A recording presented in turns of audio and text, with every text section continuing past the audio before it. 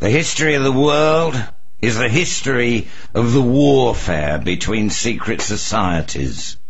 Ishmael Reed, Mumbo Jumbo. It was the year when they finally immanentized the eschaton. On April the 1st, the world's great powers came closer to nuclear war than ever before. All because of an obscure island named Fernando Po. By the time international affairs returned to their normal Cold War level, some wits were calling it the most tasteless April Fool's joke in history. I happen to know all the details about what happened, but I have no idea how to recount them in a manner that will make sense to most readers. For instance, I'm not even sure who I am, and my embarrassment on that matter makes me wonder if you will believe anything I reveal. Worse yet, I am at the moment very conscious of a squirrel in Central Park, just off 68th Street in New York City, that is leaping from one tree to another. And I think that happens on the night of April the 23rd, or is it the morning of April the 24th? But fitting the squirrel together with Fernando Po is, for the present, beyond my powers. I beg your tolerance. There is nothing I can do to make things any easier for any of us. And you will have to accept being addressed by a disembodied voice, just as I accept the compulsion to speak out, even though I am painfully aware that I am talking to an invisible, perhaps non-existent audience. Wise men have regarded the earth as a tragedy, a farce, even an illusionist's trick. But all if they are truly wise and not merely intellectual rapists, recognize that it is certainly some kind of stage in which we all play roles, most of us being very poorly coached and totally unrehearsed before the curtain rises. Is it too much if I ask tentatively that we agree to look upon it as a circus? A touring carnival wandering about the sun for a record season of four billion years and producing new monsters and miracles, hoaxes and bloody mishaps, wonders and blunders, but never quite entertaining the customers well enough to prevent them from leaving one by one and returning to their homes for a long and bored winter's sleep under the dust. Then say, for a while at least, that I have found an identity as ringmaster but that crown sits uneasily on my head, if I have a head. And I must warn you that the troop is small for a universe this size, and many of us have to double or triple our stints. So you can expect me back in many other guises. Indeed, do many things come to pass?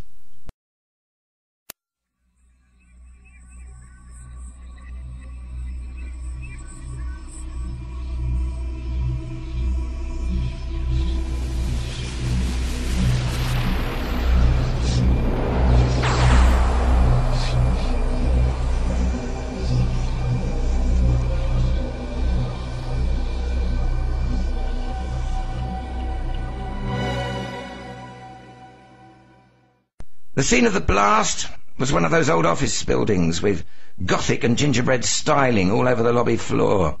In the dim light of the hour, it reminded me of the shadowy atmosphere of Charlie Chan in the Wax Museum. And a smell hit my nostrils as soon as I walked in. A patrolman, lounging inside the door, snapped to attention when he recognized me.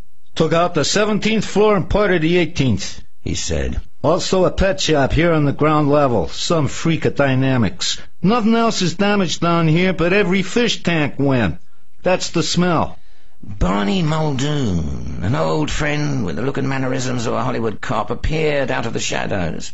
A tough man, and nowhere as dumb as he liked to pretend, which is why he was head of the bomb squad. Your baby, Barney? I asked, casually. Looks that way. Nobody killed. The call went out to you because a clothier's dummy was burned on the 18th floor and the first car here thought it was a human body. Wait. George Dorn is screaming. Saul's face showed no reaction to the answer.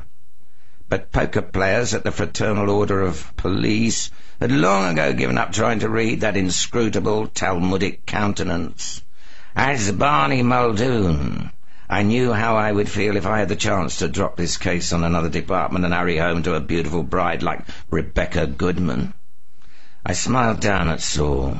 His height would keep him from appointment to the force now, but the rules were different when he was young. And I added quietly, There might be something in it for you, though. The fedora darked as Saul took out his pipe and started to fill it. All he said was, Oh? Right now, I went on, we're just notifying missing persons. But if what I'm afraid of is right, it'll end up on your desk after all. He struck a match and started puffing. Somebody missing at this hour. Might be found among the living in the morning. He said between drags. The match went out, and shadows moved where nobody stirred. And he might not, in this case. Muldoon said. He's been gone three days now. An Irishman your size can't be any more subtle than an elephant. Saul said wearily. Stop tantalizing me. What do you got?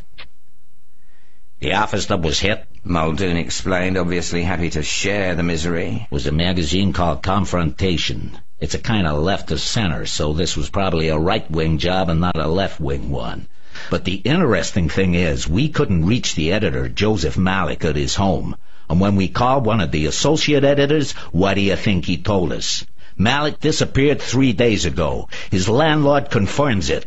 He's been trying to get a hold of Malik himself because there's a no pets rule there, and the other tenants are complaining about his dogs. So, if a man drops out of sight, and then his office gets bombed, I kind of think the matter might come to the attention of the homicide department eventually, don't you? Saul grunted. Might and might not. He said. I'm going home. I'll check with missing persons in the morning, see what they got. The patrolman spoke up. You know what bothers me most about this? The Egyptian mouth breeders. The what? Saul asked. That pet shop. The patrolman explained, pointing to the other end of the lobby. I looked over the damage, and they had one of the best collections of rare tropical fish in New York City. Even Egyptian mouth breeders.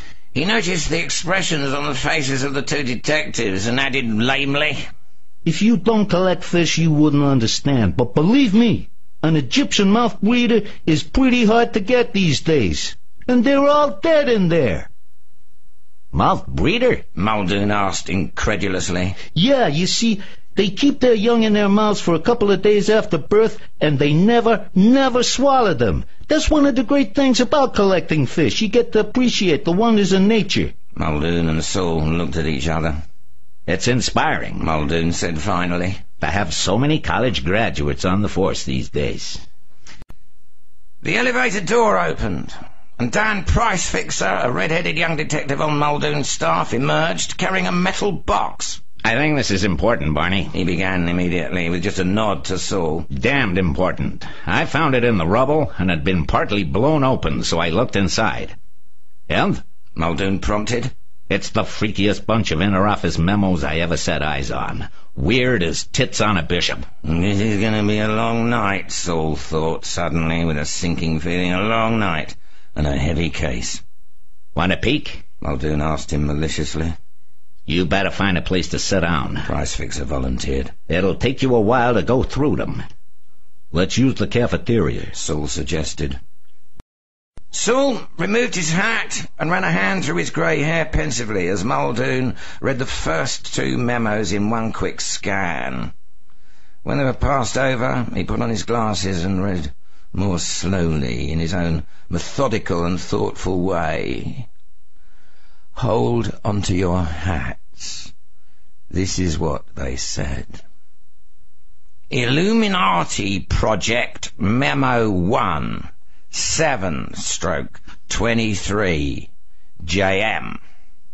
The first reference I've found is in Violence by Jacques Ellul, Seabury Press, New York, 1969. He says, pages 18 to 19, that the illuminated ones were founded by Joachim of Floris in the 11th century and originally taught a primitive Christian doctrine of poverty and equality, but later under the leadership of Fra Dolcino in the 15th century, they became violent, plundered the rich, and announced the imminent reign of the spirit.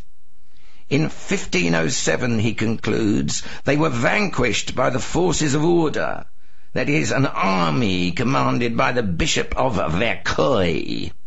He makes no mention of any Illuminati movement in earlier centuries or in more recent times. I'll have more later today. Pat. P.S. I found a little more about Joachim of Floris in the back files of the National Review.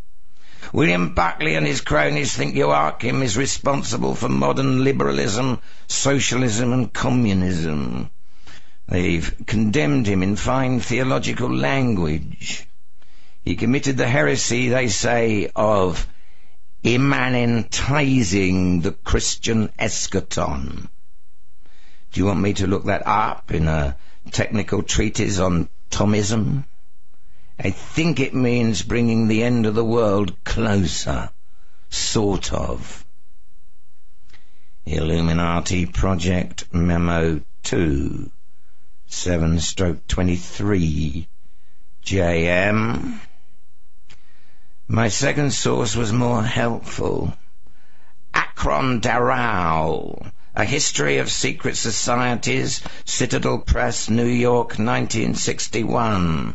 Daraul traces the Illuminati back to the 11th century also, but not to Joachim of Floris. He sees the origin in the Ismailian sect of Islam, also known as the Order of Assassins. They were vanquished in the 13th century, but later made a comeback with a new, less violent philosophy and eventually became the Ismailian sect of today, led by the Aga Khan. However, in the 16th century in Afghanistan, the illuminated ones, Roshinaya, picked up the original tactics of the Order of Assassins. They were wiped out by an alliance of the Moguls and Persians, pages 220 to 223. But the beginning of the 17th century saw the foundation of the illuminated ones of Spain, the Alumbrados, condemned by an edict of the Grand Inquisition in 1623. In 1654, the illuminated Guerinettes came into public notice in France. And finally, the part you're most interested in. The Bavarian Illuminati was founded on May Day, 1776, in Ingolstadt, Bavaria, by Adam Weishaupt, a former Jesuit. Documents still extant show several points of resemblance between the German and Central Asian Illuminists, points that are hard to account for on grounds of pure coincidence. Page 255. Weishaupt's Illuminati was suppressed by the Bavarian government in 1785. Daraul also mentions the Illuminati of Paris in the 1880s, but suggests it was simply a passing fad. He does not accept the notion that the Illuminati still exist today. This is beginning to look big. Why are we keeping the details from George? Pat. Saul and Muldoon exchanged glances. Let's see the next one. Saul said. He and Muldoon read together Illuminati Project Memo 3, 7 stroke 24, JM. The Encyclopaedia Britannica has little to say on the subject, 1966 edition, volume 11, Halikatu Impala, page 1094. Illuminati, a short-lived movement of Republican free thought founded on May Day 1776 by Adam Weishaupt, professor of canon law at Ingolstadt and a former Jesuit. From 1778 onward, they began to make contact with various Masonic lodges, where, under the impulse of A. Knigge, QV, one of their chief converts, they often managed to gain a commanding position. The scheme itself had its attractions for literary men like Goethe and Herder, and even for the reigning dukes of Gotha and Weimar. The movement suffered from internal dissension, and was ultimately banned by an edict of the Bavarian government in 1785. pat. Saul paused. I'll make you a bet, Barney. He said quietly. The Joseph Malik who vanished is the JM these memos were written for. Sure, Muldoon replied scornfully. These Illuminati characters are still around and they got him. Honest to God, Saul. He added. I appreciate the way your mind usually pole vaults ahead of the facts, but you can ride a hunch just so far when you're starting from nothing. We're not starting from nothing, Saul said softly. Here's what we've got to start with. One. He held up a finger. A building is bombed. Two. Another finger. An important executive disappeared three days before the bombing. Already there's an inference, or two inferences. Somebody got him, or else he knew something was coming for him and he ducked out. Now, look at the memos. Point three. He held up another finger. A standard reference work. The Encyclopedia Britannica seems to be wrong about when the Illuminati came into existence. They say 18th century Germany, but the other memos trace it back to, let's see, Spain in the 17th century, France in the 17th century, and then in the 11th century back to Italy, and halfway across the world to Afghanistan. So, we've got a second inference. If the Britannica is wrong about when the thing started, they may be wrong about when it ended. Now, put these three points and two inferences together, and the Illuminati got the editor and blew up his office. Nuts! I still say you're going too fast. Maybe I'm not going fast enough, so sad. An organization that has existed for a couple of centuries minimum and kept its secrets pretty well hidden most of that time might be pretty strong by now. He trailed off into silence and closed his eyes to concentrate. After a moment he looked at the younger man with a searching glance. Muldoon had been thinking too. I seen men land on the moon, he said. I seen students break into the administration offices and shit in the dean's wastebasket. I've even seen nuns in miniskirts. But this international conspiracy existing in secret for 800 years, it's like opening a door in your own house and finding James Bond and the President of the United States personally shooting it out with Fu Manchu and the five original Marx brothers. Pricefixer stuck his head in the cafeteria door. Minute? He asked. What is it? Muldoon replied. Peter Jackson is out here. He told the associate editor I spoke to on the phone. He just told me something about his last meeting with Joseph Malik, the editor, before Malik disappeared. Bring him in, Muldoon said. Peter Jackson was a black man, truly black, not brown or tan. He was wearing a vest in spite of the spring weather. He was also very obviously wary of policemen. Saul noted this at once and began thinking about how to overcome it. And at the same time he observed an increased blandness in Muldoon's features, indicating that he, too, had noted it and was prepared to take umbrage. Have a seat, Saul said cordially. And tell us what you just told the other officer. With the nervous ones, it was sound policy to drop the policeman role at first and try to sound like somebody else, somebody who, quite naturally, asked a lot of questions. Saul began slipping into the personality of his own family physician, which he usually used at such times. He made himself feel a stethoscope hanging about his neck. Well, Jackson began in a Harvard accent. this is probably not important. It may be just a coincidence. Most of what we hear is just unimportant coincidence, Saul said gently. but it's our job to listen. Everybody but the lunatic fringe has given up on this by now. Jackson said. It really surprised me when Joe told me what he was getting the magazine into. He paused and studied the two impassive faces of the detectives. Finding little there, he went on reluctantly. It was last Friday. Joe told me he had a lead that interested him, and he was putting a staff writer on it. He wanted to reopen the investigation of the assassinations of Martin Luther King and the Kennedy brothers. Saul carefully didn't look at Muldoon, and just as carefully moved his hat to cover the memos on the table. Excuse me a moment, he said politely, and left the cafeteria. He found a phone booth in the lobby and dialed his home. Peter Jackson looked up as he re-entered the cafeteria. An intelligent, curious black face. Muldoon was impassive as the faces on Mount Rushmore. Mad Dog, Texas was the town where Malik thought these assassins had their headquarters, Muldoon said. That's where the staff writer was sent. What was the staff writer's name? Saul asked. George Dorn, Muldoon said. He's a young kid who used to be in SDS, and he was once rather close to the Weatherman faction. This is serious, Peter Jackson was thinking. Joe Malik wasn't on a paranoid trip at all. The non-committal expressions of Muldoon and Goodman did not deceive him at all. He had long ago learned the black art of surviving in a white world, which is the art of reading not what is on a face, but what is behind the face. The cops were worried and excited, like any hunters on the track of something both large and dangerous. Joe was right about the assassination plot.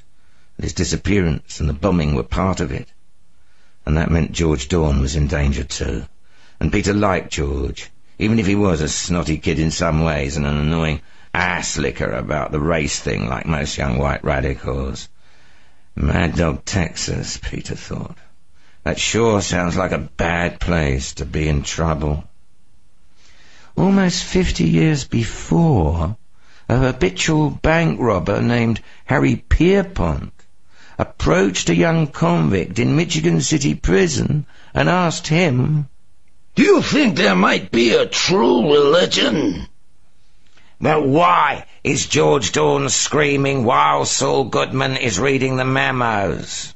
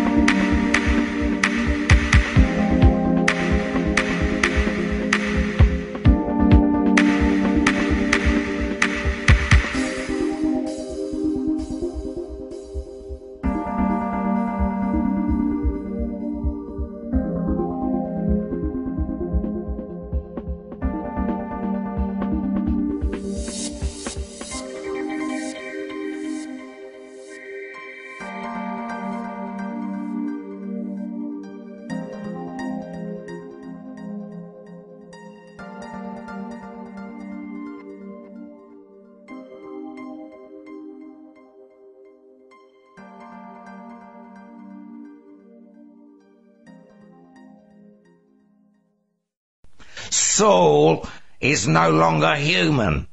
He's a pig. All cops are pigs. Everything you've ever believed is probably a lie.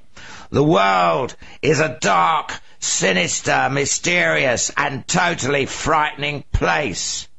Can you digest all that quickly? Then, walk into the mind of George Dorn for the second time, five hours before the explosion at confrontation, four hours before on the clock, and suck on the joint, suck hard, and hold it down. One o'clock, two o'clock, three o'clock, rock. You are sprawled on a crummy bed in a rundown hotel, and the neon light outside is flashing pink and blue patterns into your room. Exhale slowly. Feel the hit of the weed and see if the wallpaper looks any brighter yet, any less unintentional low camp. It's hot, Texas dry hot and you push your long hair back from your forehead and haul out your diary, George Dorn. Because reading over what you wrote last sometimes help you to learn what you're really getting into. As the neon splotches the page with pink and blue, read this. April 23. How do we know whether the universe is getting bigger or the objects in it are getting smaller. You can't say that the universe is getting bigger in relation to anything outside it, because there isn't any outside for it to relate to. There isn't any outside. But if the universe doesn't have an outside, then it goes on forever. Yeah, but its inside doesn't go on forever. How do you know it doesn't, shithead? You're just playing with words, man. No, I'm not. The universe is the inside without an outside, the sound made by one. There was a knock at the door. The fear came over George. Whenever he was high, the least little detail wrong in his world would bring the fear, irresistible, uncontrollable. He held his breath, not to contain the smoke in his lungs, but because terror had paralyzed the muscles in his chest. He dropped the little notebook in which he wrote his thoughts daily and clutched at his penis, a habitual gesture in moments of panic. The hand holding the roach drifted automatically over the hollowed-out copy of Sinclair Lewis's It Can't Happen Here, which lay beside him on the bed, and he dropped the half-inch twist of paper and marijuana on top of the plastic baggie full of green grains. Instantly, a brown, smouldering, dime-sized hole opened up on the bag, and the pot near the coal started to smoke. Stupid, said George, as his thumb stabbed the smoking coal to crush it. And he drew back his lips in a grimace of pain. A short, fat man walked into the room, law officer written in every mean line of his crafty little face. John shrank back and started to close It Can't Happen Here. Like lightning, three stiff, concrete hard fingers drove into his forearm. He screamed. The book jumped out of his hand, spilling pot all over the bedspread. Don't touch that, said the fat man. An officer being here to gather it up for evidence. I went easy with that karate punch, otherwise you'd be nursing a compound fracture of the left arm in Mad Dog County Jail tonight, and no right-thinking doctor likely to have a mind to come out and treat you. Have you got a warrant? George tried to sound defiant. Oh, you think you have cojones. The fat man's breath stank of bourbon and cheap cigars. Rabbit cojones. I've terrified you unto death, boy, and you know it and I know it, yet you find it in your heart to speak of warrants. Next you want to see the American Civil Liberties Union. He pulled aside the jacket of an iridescent grey summer suit that might have been new when Heartbreak Hotel was the top of the hit parade. A silver five-pointed star decorated his pink shirt pocket, and a 45 automatic stuck in his pants top dented the fat of his belly.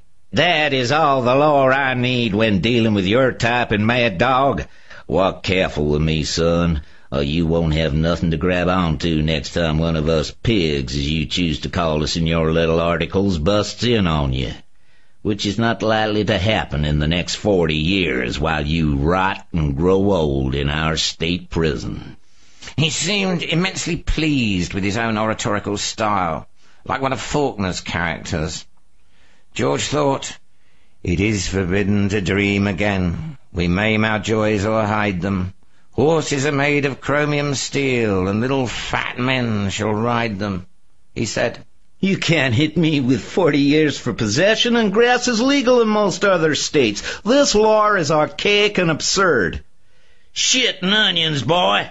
You got too much of the killer weed there to call it mere possession. I call it possession with intent to sell. And the laws of this state are stern, and they are just, and they are our laws, and we know what that weed can do.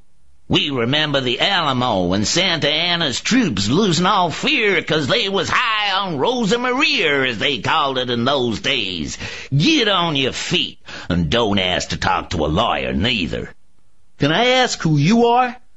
I am Sheriff Jim Cartwright, nemesis of all evil in Mad Dog and Mad Dog County.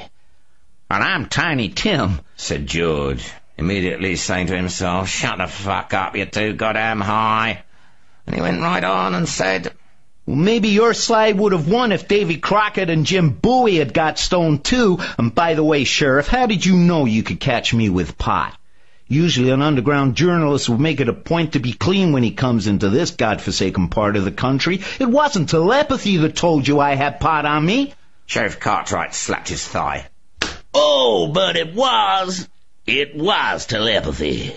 Now, just what made you think it wasn't telepathy brung me here? He laughed, seized George's arm in a grip of iron and pushed him towards the hotel room door. George felt a bottomless terror, as if the pit of hell were opening beneath his feet, and Sheriff Jim Cartwright were about to pitchfork him into the bubbling sulphur. And I must admit, that was more or less the case. The President's actual television broadcast was transmitted to the world at 10.30 p.m. EST, March 31. The Russians and Chinese were given 24 hours to get out of Fernando Po, or the skies over Santa Isabel would begin raining nuclear missiles, This is darn serious. the chief executive said. And America will not shirk in its responsibility to the freedom-loving people of Fernando Po. The broadcast concluded at 11 p.m. EST, and within two minutes, people attempting to get reservations on trains, planes, buses, or carpools to Canada had virtually every telephone wire in the country overloaded. In Moscow, where it was 10 the next morning, the Premier called a conference and said crisply, that character in Washington is a mental lunatic, and he means it. Get our men out of Fernando Poo right away, then find out who authorized sending them in there in the first place and transfer him to be supervisor of a hydroelectric works in Outer Mongolia. We don't have any men in Fernando Poo. The Americans are imagining things again. Well, how the hell can we withdraw our men if we don't have them there in the first place? the Premier demanded. I don't know. We've got 24 hours to figure that out, or... The Commissar quoted an old Russian proverb which means, roughly, that when the polar bear excrement interferes with the fan belts, the machinery overheats. Suppose we just announce that our troops are coming out. Another Commissar suggested. They can't say we're lying if they don't find any of our troops there afterward. No, they never believe anything we say. They want to be shown. The Premier said thoughtfully. We will have to infiltrate some troops surreptitiously and then withdraw them with a lot of fanfare and publicity. That should do it. I'm afraid it won't end the problem. Another Commissar said funereally. Our intelligence indicates that there are Chinese troops there. Unless Peking backs down, we're going to be caught in the middle when the bombs start flying and... He quoted a proverb about the man in the intersection when two manure trucks collide. Damn. The Premier said. What the blue blazes do the Chinese want with Fernando Poo? He was harassed, but still he spoke with authority. He was, in fact, characteristic of the best type of dominant male in the world at this time. He was 55 years old, tough, shrewd, unburdened by the complicated ethical ambiguities which puzzle intellectuals, had long ago decided that the world was a mean son of a bitch, in which only the most cunning and ruthless can survive. He was also as kind as was possible for one holding that ultra-Darwinian philosophy, and he genuinely loved children and dogs, unless they were on the site of something that had to be bombed in the national interest. He still retained some sense of humour, despite the burdens of his almost godly office. And although he had been impotent with his wife for nearly ten years now, he generally achieved orgasm in the mouth of a skilled prostitute within 1.5 minutes. He took amphetamine pep pills to keep going on his grueling 20-hour day, with the result that his vision of the world was somewhat skewed in a paranoid direction, and he took tranquilizers to keep from worrying too much, with the result that his detachment sometimes bordered on schizophrenia. But most of the time, his innate shrewdness gave him a fingernail grip on reality. In short, he was much like the rulers of America and China. 00005 was summoned to meet W in the headquarters of a certain branch of British intelligence. The date was March the 17th, but being English, neither quadruple O five nor W gave a thought to blessed St. Patrick. Instead, they spoke of Fernando Poo. The Yanks W said crisply. are developing evidence that the Russians or the Chinese or both of them are behind this Tequila-y-Mota swine. Of course, even if that were true, it wouldn't matter a damn to Her Majesty's government. What do we care if a speck of an island that size turns red? But you know the Yanks, 00005. They're ready to go to war over it, although they haven't announced that publicly yet. My mission 00005 asked, the fault lines of cruelty about his mouth turning into a most engaging smile. is to hop down to Fernando Poo and find out the real politics of this Tequila-y-Mota bloke, and if he is red, overthrow him before the Yanks blow up the world. That's the assignment. We can't have a bloody nuclear war just when the balance of payments is almost straightened out and the common market is finally starting to work. So, hop to it straight away. Naturally, if you're captured, Her Majesty's government will have to disavow any knowledge of your actions. It always seems to work out that way. Quadruple O five said ironically. I wish for once you'd give me a mission where Her Majesty's bleeding government would stand behind me in a tight spot. But Quadruple O five, of course, was merely being witty. As a loyal subject, he would follow orders under any circumstances, even if it required the death of every soul on Fernando Poo, and himself as well. He rose in his characteristically debonair fashion and headed for his own office, where he began his preparations for the Fernando Poo mission. His first step was to check his personal worldwide travel notebook, seeking the bar in Santa Isabel, which came closest to serving a suitable martini, and the restaurant most likely to prepare an endurable lobster Newburg. To his horror, there was no such bar and no such restaurant. Santa Isabel was bereft of social graces. I say, 00005 muttered, this is going to be a bit thick. but he cheered up quickly, for he knew that Fernando Poo would be equipped at least with a bevy of tawny-skinned or coffee-coloured females, and such women were the holy grail to him. Besides, he had already formed his own theory about Fernando Poo. He was convinced that bugger, blowhards, unreformed gangsters, goons, and espionage renegades, an international conspiracy of criminals and double agents, led by the infamous and mysterious Eric the Red Blowhard, was behind it all. 00005 had never heard of the Illuminati.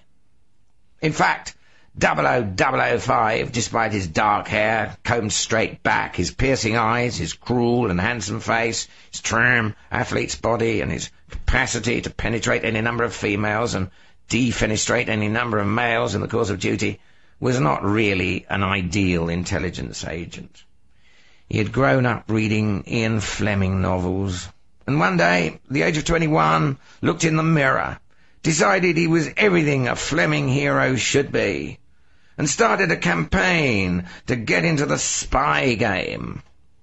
After 14 years in bureaucratic burrowing, he finally arrived in one of the intelligence services. But it was much more the kind of squalid and bumbling organisation in which Harry Palmer had toiled his cynical days away than it was a birth of bondage. Nevertheless, 00005 did his best to refurbish and glamorise the scene, and, perhaps because God looks after fools, he hadn't managed to get himself killed in any of the increasingly bizarre missions to which he was assigned. The missions were all weird at first because nobody took them seriously.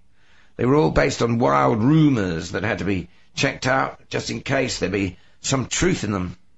But later it was realised that 00005's peculiar schizophrenia was well suited to certain real problems, just as the schizoid of the more withdrawn type is ideal for a sleeper agent, since he could easily forget what was conventionally considered his real self.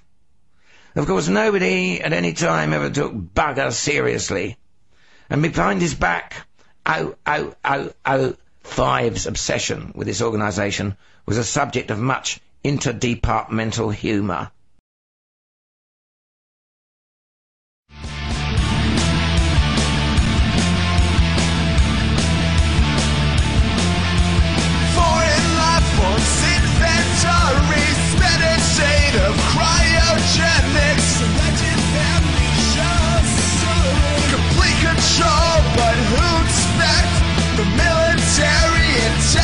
chance to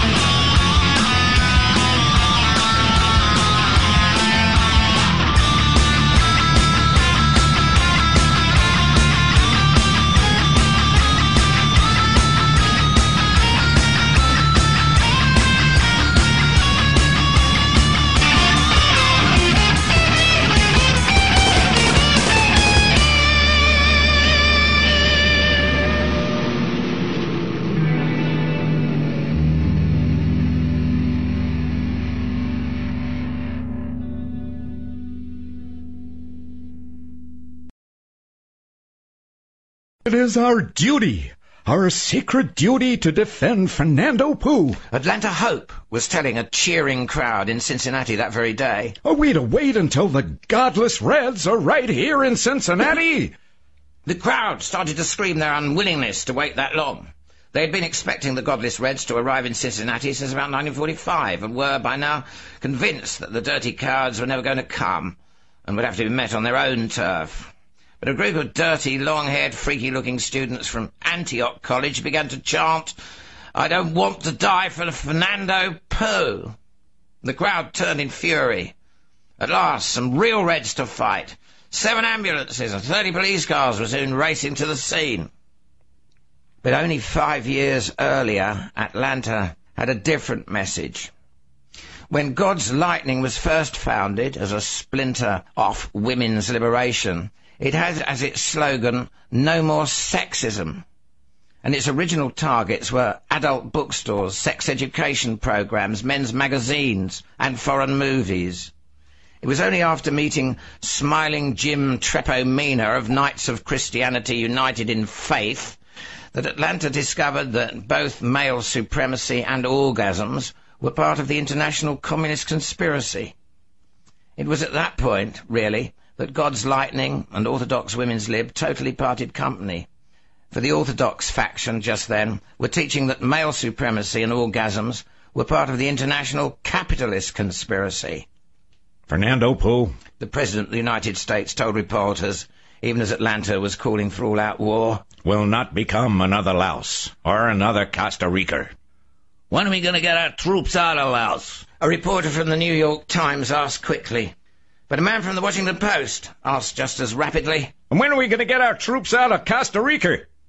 Our present plans for withdrawal are going forward according to an orderly schedule. The President began. But in Santa Isabel itself, as Tequila-y-Mota underlined a passage in Machiavelli, Quadruple 05 concluded a shortwave broadcast to a British submarine lying 17 miles off the coast of the island. The Yanks have gone absolutely bonkers, I'm afraid. I've been here nine days now, and I'm absolutely convinced there is not one Russian or Chinese agent in any way involved in Generalissimo Tequila-y-Mota, nor are there any troops of either of those governments hiding anywhere in the jungles. However, Bugger is definitely running a heroin smuggling ring here, and I would like permission to investigate that. The permission was to be denied. Old W, back at Intelligence HQ in London, knew that Quadruple 05 was a bit bonkers about Bugger himself, and imagined that it was involved in every mission he undertook. At the same time, in a different hotel, Tobias Knight, on special loan from the FBI to the CIA, concluded his nightly shortwave broadcast to an American submarine 23 miles off the coast. The Russian troops are definitely engaged in building what can only be a rocket launching site, and the slants are constructing what seems to be a nuclear installation and Hagbard Celine, lying 40 miles out in the Bight of Biafra in the Leif Erikson, intercepted both messages and smiled cynically and wired P in New York. Activate Malik and prepare Dorn. There are Swedish and Norwegian kids, Danes, Italians and French kids, Greeks, even Americans. George and Hagbard moved through the crowd trying to estimate its number. Two hundred thousand, three hundred thousand, five hundred thousand. Peace symbols dangling about every neck. Nudes with body paint. Nudes without body paint. Long and dangling hair on boys and girls alike. And over all of it, the hypnotic and unending beat. Woodstock Europa, Hagbard says dryly. The last and final Walpurgis Nacht and Adam Weishaupt's erosion finally realized. We're gonna rock, rock, rock till broad daylight. It's the League of Nations. George says. A young people's League of Nations. Hagbard isn't listening. Up there, he points. To the northwest is the Rhine, where Dailaralai was supposed to sit and sing her deadly songs. There'll be deadlier music on the Danube tonight. We're gonna rock around the clock tonight. But that was still seven days in the future. And now, George lies unconscious in Mad Dog County Jail. And it began, that phase of the operation, as Hagbard called it, over thirty years before, when a Swiss chemist named Hoffman climbed on his bicycle and pedaled down a country road into new dimensions. And will they all come back? George asked. All of them, Hagbard answered tightly when the beat reaches the proper intensity, unless we can stop it. The universe is the inside without any outside, the sound made by one eye opening. In fact, I don't even know that there is a universe. More likely, there are many multiverses each with its own dimensions, times, spaces, laws, and eccentricities. We wander between and among these multiverses, trying to convince others and ourselves that we all walk together in a single public universe that we can share. For to deny that axiom leads to what is called schizophrenia. Yeah, that's it. Every man's skin is his own private multiverse. Just like every man's home is supposed to be his castle. But all the multiverses are trying to merge to create a true universe such as we have only imagined previously. Maybe it will be spiritual, like Zen or telepathy, or maybe it will be physical, one great big gang fuck. But it has to happen. The creation of a universe, and the one great eye opening to see itself at last. Om Shiva. Oh, man, you're stoned out of your gourd. You're writing gibberish. No, I'm writing with absolute clarity for the first time in my life. Yeah? What was that business about the universe being the sound of one eye opening? Oh, never mind that. Who the hell are you, and how did you get into my head? Your turn now, George. Sheriff Cartwright stood in the door, a monk in a strange red and white robe beside him, holding some kind of wand, the deep colour of a fire engine. No, no. George started to stammer, but he knew. Of course you know. The sheriff said kindly, as if he were suddenly sorry about it all. You knew before you left New York and came down here.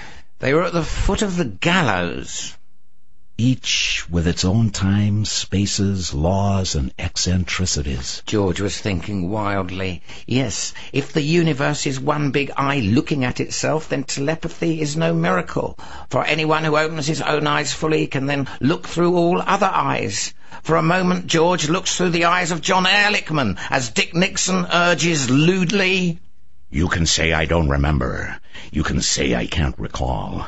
I can't give any answer to that that I can recall. I can't give any answer to that that I can recall. All flesh will see it in one instant. Who wrote that?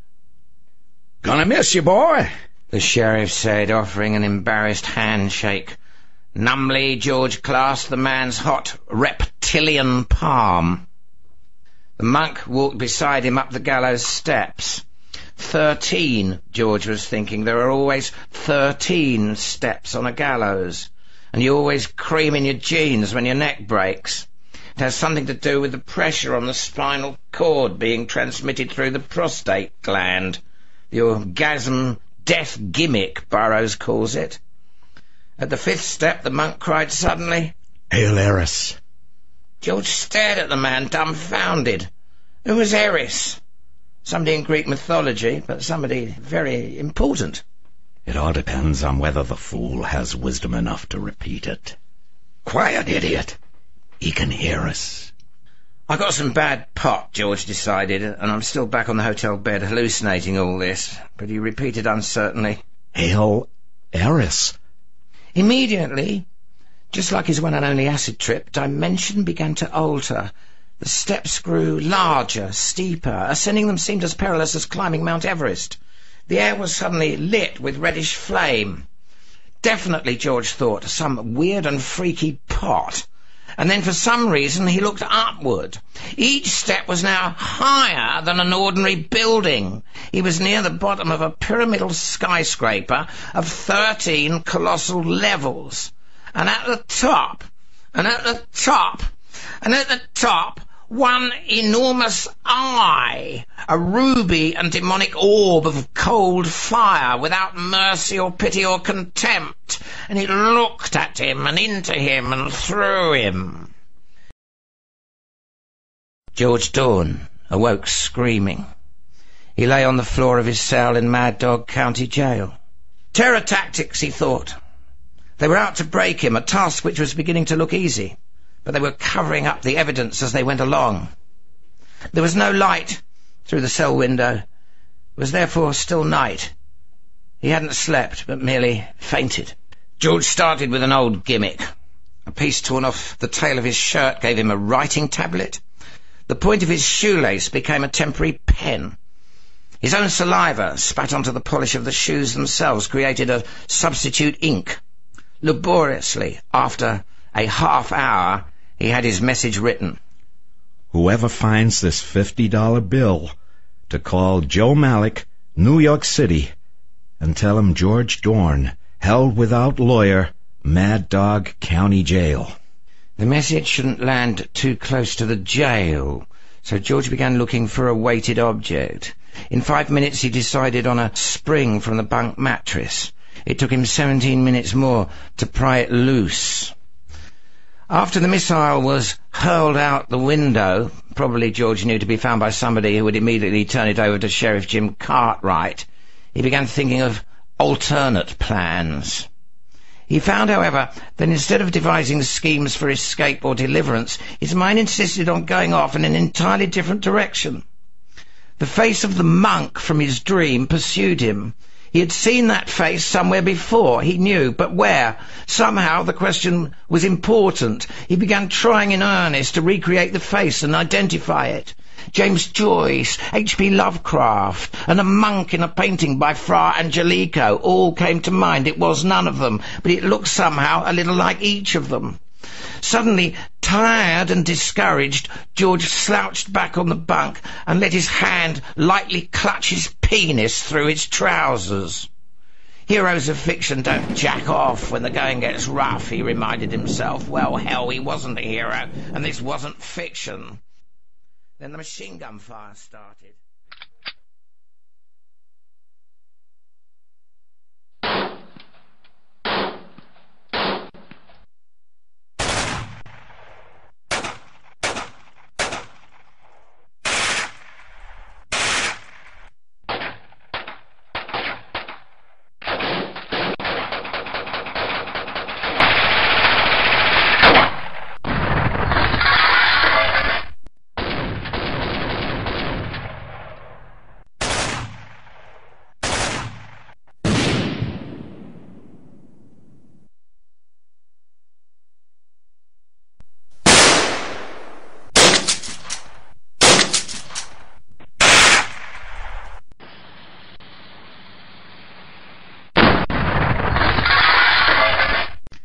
The machine gun suddenly stopped stuttering, and I thought I heard a voice cry, Earwicker, Bloom and Craft.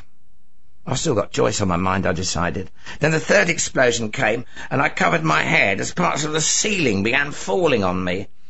A key suddenly clanked against his cell door. Looking up, I saw a young woman in a trench coat, carrying a Tommy gun, and desperately trying one key after another in the lock. From somewhere else in the building there came a fourth explosion. The woman grinned tensely at the sound. Commie motherfuckers. She muttered, still trying keys. Who the hell are you? I finally asked hoarsely. Never mind that now. She snapped. We've come to rescue you, isn't that enough? Before I could think of a reply, the door swung open. Quick, she said. This way.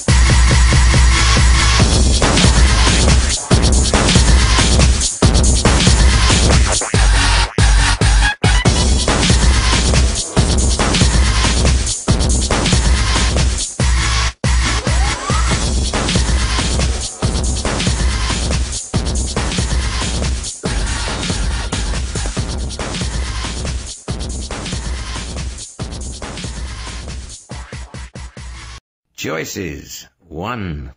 It is all true, exactly as the memo suggests. Two. It is partly true and partly false. Three. It is all false, and there is no secret society that has endured from 1090 AD to the present. Well, it isn't all true. Mayor Daley never said Ewige Blumenkraft to Senator Ribicoff. Saul had read in the Washington Post a lip reader's translation of Daley's diatribe, and there was no German in it, although there was obscenity and anti-Semitism. The Weishaupt Washington impersonation theory also had some flaws. In those days, before plastic surgery, such an undetected assumption of the identity of a well-known figure was especially hard to credit, despite the circumstantial evidence quoted in the memos. Two strong arguments against choice one. The memos are not all true. How about choice three? The Illuminati might not be a straight, unbroken line from the first recruit gathered by old Hassan i Sabbah to the person who bombed confrontation. It might have died and lain dormant for a term, like the Ku Klux Klan between 1872 and 1915. And it might have gone through such breakups and resurrections more than once in eight centuries. But linkages of some sort, however tenuous, reached from the 11th century to the 20th, from the Near East to Europe and from Europe to America. Saul's dissatisfaction with official explanations of recent assassinations, the impossibility of making any rational sense out of current American foreign policy, and the fact that even historians who vehemently distrusted all conspiracy theories acknowledged the pivotal role of secret Masonic lodges in the French Revolution. All these added weight to the rejection of choice three. Besides, the Masons were the first group, according to at least two of the memos, infiltrated by Weishaupt. Choice one is definitely out then and choice three almost certainly equally invalid. Choice two, therefore, is most probably correct. The theory in the memos is partly true and partly false. But what, in essence, is the theory? And which part of it is true? Which part false? Saul lit his pipe, closed his eyes, and concentrated. The theory, in essence, was that the Illuminati recruited people through various fronts, turned them onto some sort of illuminizing experience through marijuana, or some special extract of marijuana, and converted them into fanatics willing to use any means necessary to illuminize the rest of the world. Their aim, obviously, is nothing less than the total transformation of humanity itself, along the lines suggested by the film 2001, or by Nietzsche's concept of the Superman. In the course of this conspiracy, the Illuminati, according to Malik's hints to Jackson, was systematically assassinating every popular political figure who might interfere with their program. Saul thought suddenly of Charlie Manson and of the glorification of Manson by the Weatherman and Morituri bombers. And he thought of the popularity of pot smoking and of the slogan, by any means necessary, with contemporary radical youth even outside Weatherman. And he thought of Nietzsche's slogans, be hard, Whatever is done for love is beyond good and evil. Above the ape is man, and above man the Superman. Forget not thy whip. In spite of his own logic, which had proved that Malik's theory was only partly true, Saul Goodman, a lifelong liberal, suddenly felt a pang of typically right-wing terror toward modern youth. He reminded himself that Malik, seemed to think the conspiracy emanated chiefly from Mad Dog. And that was God's lightning country down there. God's lightning had no fondness for marijuana or for youth or for the definitely anti-Christian overtones of the Illuminati philosophy. Besides, Malik's sources were only partly trustworthy, and there were other possibilities. The Shriners, for instance, were part of the Masonic movement, were generally right-wing, had their own hidden rites and secrets, and used Arabic trappings that might well derive from Hassan i Sabbah or the Roshinaya of Afghanistan. Who could say what secret plots were hatched at Shriner conventions? That was the intuitive pole vaulter in the right lobe at work again. And right now, Saul was concerned with the plodding logician in the left lobe.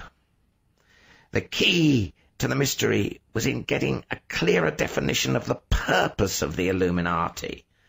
Identify the change they were trying to accomplish in man and in his society, and then you would be able to guess, at least approximately, who they were.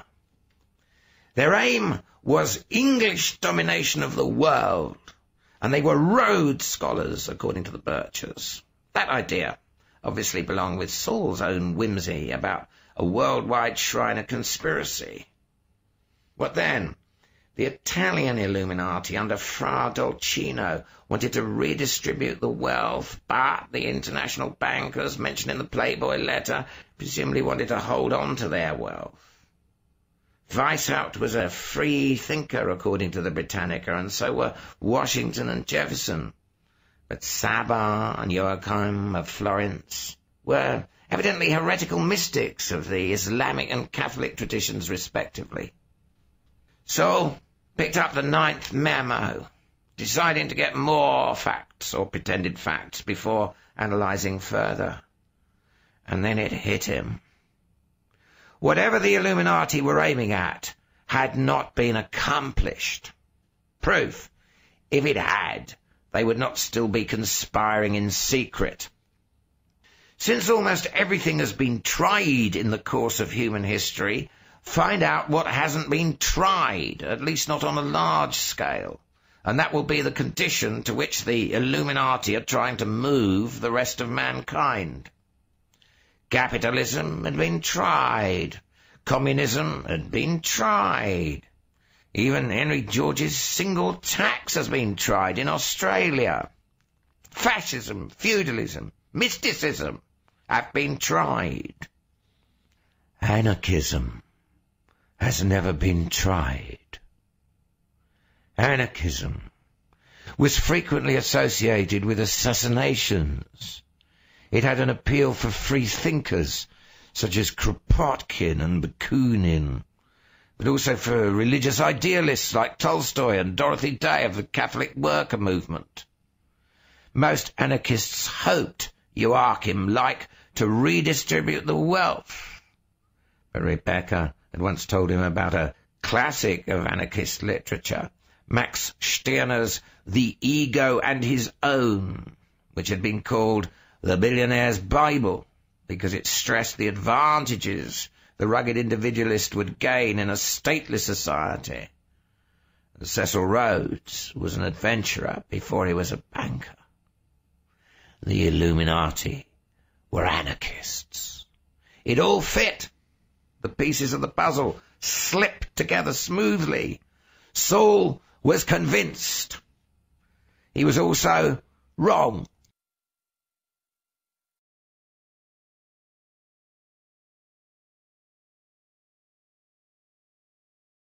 The second trip, or Chokmah, Hopalong Horus rides again. Hang on for some metaphysics. The aneristic principle is that of order. The eristic principle is that of disorder. On the surface, the universe seems, to the ignorant, to be ordered. This is the aneristic illusion. Actually, what order is there is imposed on primal chaos in the same sense that a person's name is draped over his actual self. It is the job of the scientist, for example, to implement this principle in a practical manner, and some are quite brilliant at it. But on closer examination, order dissolves into disorder, which is the eristic illusion. Malaclypse the Younger, KSC, Principia Discordia. In Chicago, Simon Moon was listening to the birds begin to sing and waiting for the first cinnamon rays of dawn as Mary Lou Servix slept beside him. His mind was active, thinking about pyramids and rain gods and sexual yoga and fifth-dimensional geometries, but thinking mostly about the Ingolstadt Rock Festival and wondering if it would all happen as Hagbard Celine had predicted. Two blocks north in space and over forty years back in time, Simon's mother heard pistol shots as she left Wobbly Hall. Simon was a second-generation anarchist and followed the crowd to gather in front of the Biograph Theatre, where a man lay bleeding to death in the alley. And the next morning, July 23rd, 1934, Billie Frechette, in her cell at Cook County Jail, got the news from a matron. In this white man's country, I am the lowliest of the lowly, subjugated because I am not white, and subjugated again because I am not male. I am the embodiment of all that is rejected and scorned, the female, the coloured, the tribe, the earth, all that has no place in this world of white male technology. I am the tree that is cut down to make room for the factory that poisons the air. I am the river filled with sewage. I am the body that the mind despises. I am the lowliest of the lowly, the mud beneath your feet. And yet of all the world John Dillinger picked me to be his bride. He plunged within me into the very depths of me. I was his bride, not as your wise men and churches and governments know marriage, but we were truly wed. As the tree is wed to the earth, the mountain to the sky, the sun to the moon. I held his head to my breast and tousled his hair as if it were sweet as fresh grass, and I called him Johnny. He was more than a man, he was mad but not mad, not as a man may go mad when he leaves his tribe and lives among hostile strangers, and is mistreated and scorned. He was not mad as all other white men are mad because they have never known a tribe. He was mad as a god might be mad. And now they tell me he is dead. Simon! In fact had what can be called a funky education. I mean, man, when your parents are both anarchists, the Chicago public school system is going to do your head absolutely no good at all. Feature me in a 1956 classroom with Eisenhower's Moby Dick face on one wall and Nixon's Captain Ahab glare on the other, and in between, standing in front of the inevitable American rag, Miss Doris Day or her elder sister, telling the class to take home a leaflet explaining to their parents why it's important for them to vote. My parents don't vote. I say. Well, this leaflet will explain to them why they should. She tells me with the real authentic Doris Day sunshine and Kansas cornball smile. It's early in the term and she hasn't heard about me from the last semester teacher. I really don't think so. I say politely. They don't think it makes any difference whether Eisenhower or Stevenson is in the White House. They say the orders will still come from Wall Street. It's like a thundercloud. All the sunshine goes away. They never prepared her for this in the school where they turn out all these Doris Day replicas. The wisdom of the fathers is being questioned. She opens her mouth and closes it, and opens and closes it, and finally takes such a deep breath that every boy in the room, we're all on the cusp of puberty, gets a hard on from watching her breasts heave up and slide down again. I mean, they're all praying, except me, I'm an atheist, of course, that they won't get called on to stand up. If it wouldn't attract attention, they'd be clubbing their dicks down with their geography books. That's the wonderful thing about this country. She finally gets out. Even people with opinions like that can say what they want without going to jail. You must be nuts. I say. My dad's been in and out of jail so many times they should put in a special revolving door just for him. My mom, too. You ought to go out with subversive leaflets in this town and see what happens. Then, of course, after school, a gang of patriots with the odds around seven to one beat the shit out of me and make me kiss their red, white and blue totem. It's no better at home. Mom's an anarcho-pacifist, Tolstoy and all that, and she wants me to say I didn't fight back. Dad's a wobbly and wants to be sure that I've hurt some of them at least, and at least as bad as they hurt me. After they yell at me for a half hour, they yell at each other for two. Bakunin said this, and Kropotkin said that, and Gandhi said the other, and Martin Luther King is the saviour of America, and Martin Luther King is a bloody fool who's selling his people an opium utopia and all that jive. Go down to Wobbly Hall or Solidarity Bookstore and you'll still hear the same debate. Doubled, redoubled, in spades, and vulnerable. So naturally I start hanging out on Wall Street and smoking dope, and pretty soon I'm the youngest living member of what they call the Beat Generation which does not improve my relations with school authorities. But at least it's a relief from all that patriotism and anarchism. By the time I'm 17 and they shot Kennedy and the country starts coming apart at the seams, we're not beatniks anymore, we're hippies. And the thing to do is to go to Mississippi. Did you ever go to Mississippi? You know what Dr. Johnson said about Scotland? The best thing you can say for it is that God created it for some purpose. The same is true of hell. I got stoned one night and went home to see what it would be like relating to Mum and Dad in that condition. It was the same, but different. Tolstoy coming out of her mouth, Bakunin coming out of his. And it was suddenly all weird and super freaky, like Godard shooting a Kafka scene. Two dead Russians debating with each other long after they were dead and buried, out of the mouths of a pair of Chicago Irish radicals.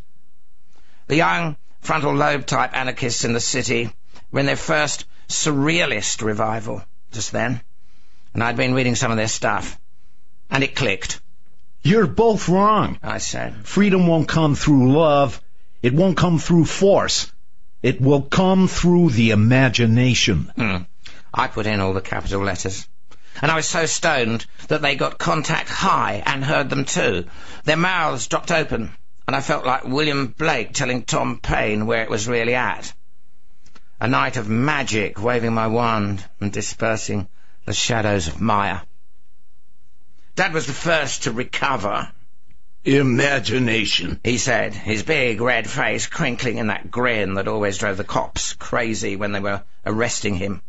That's what comes of sending good working class boys to rich people's colleges. Words and books get all mixed up with reality in their heads, when you were in that jail in Mississippi, you imagined yourself through the walls, didn't you?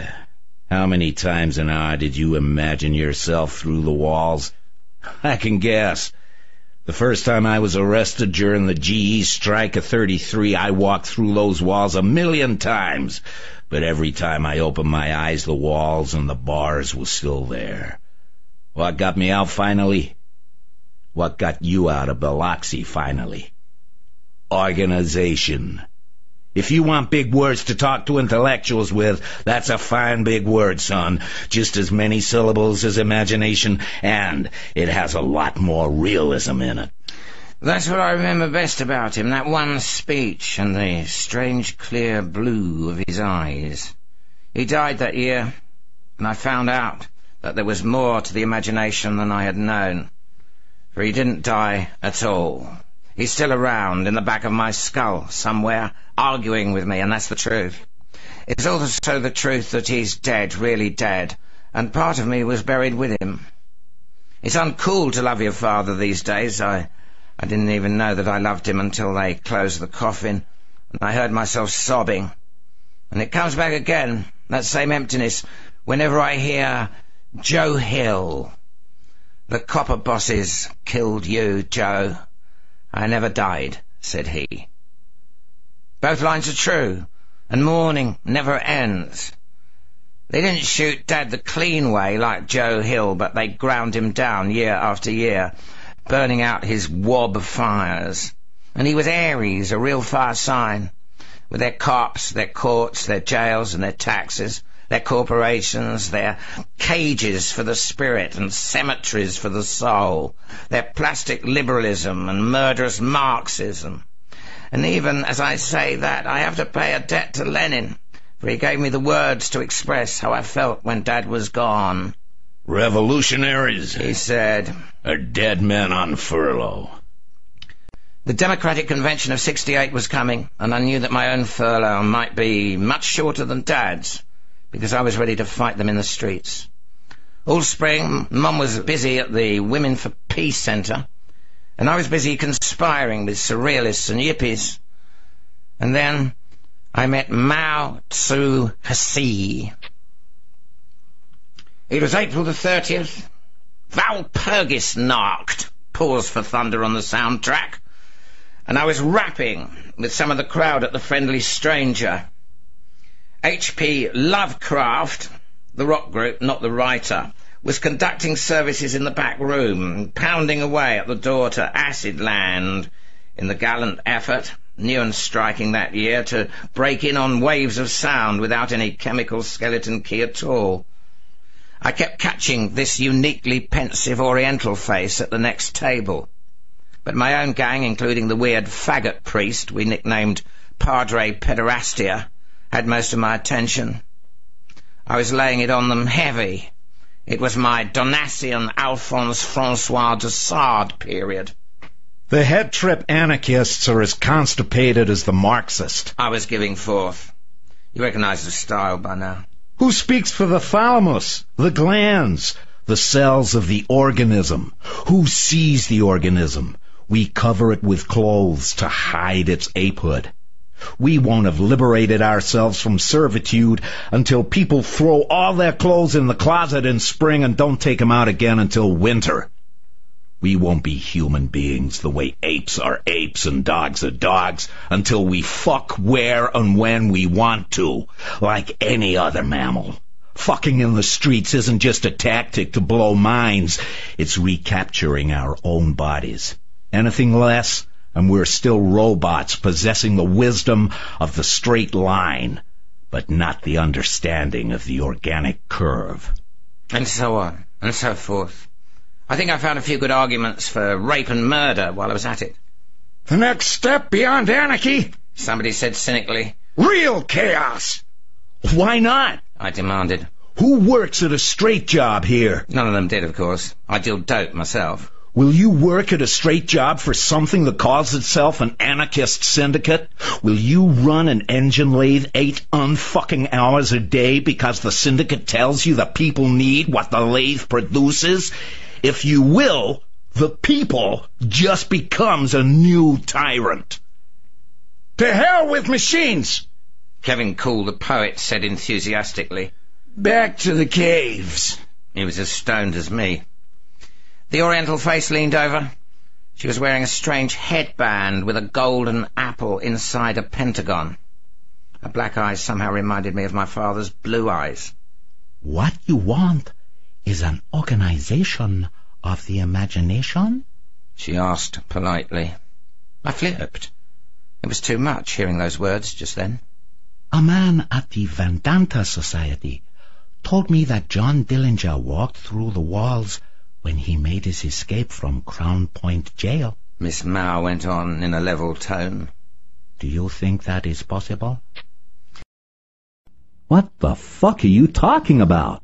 I asked, wondering if I was in some crazy surrealist movie, wandering from telepathic sheriffs to homosexual assassins to nympho lady masons to psychotic pirates, according to a script written in advance by two acid heads and a Martian humorist.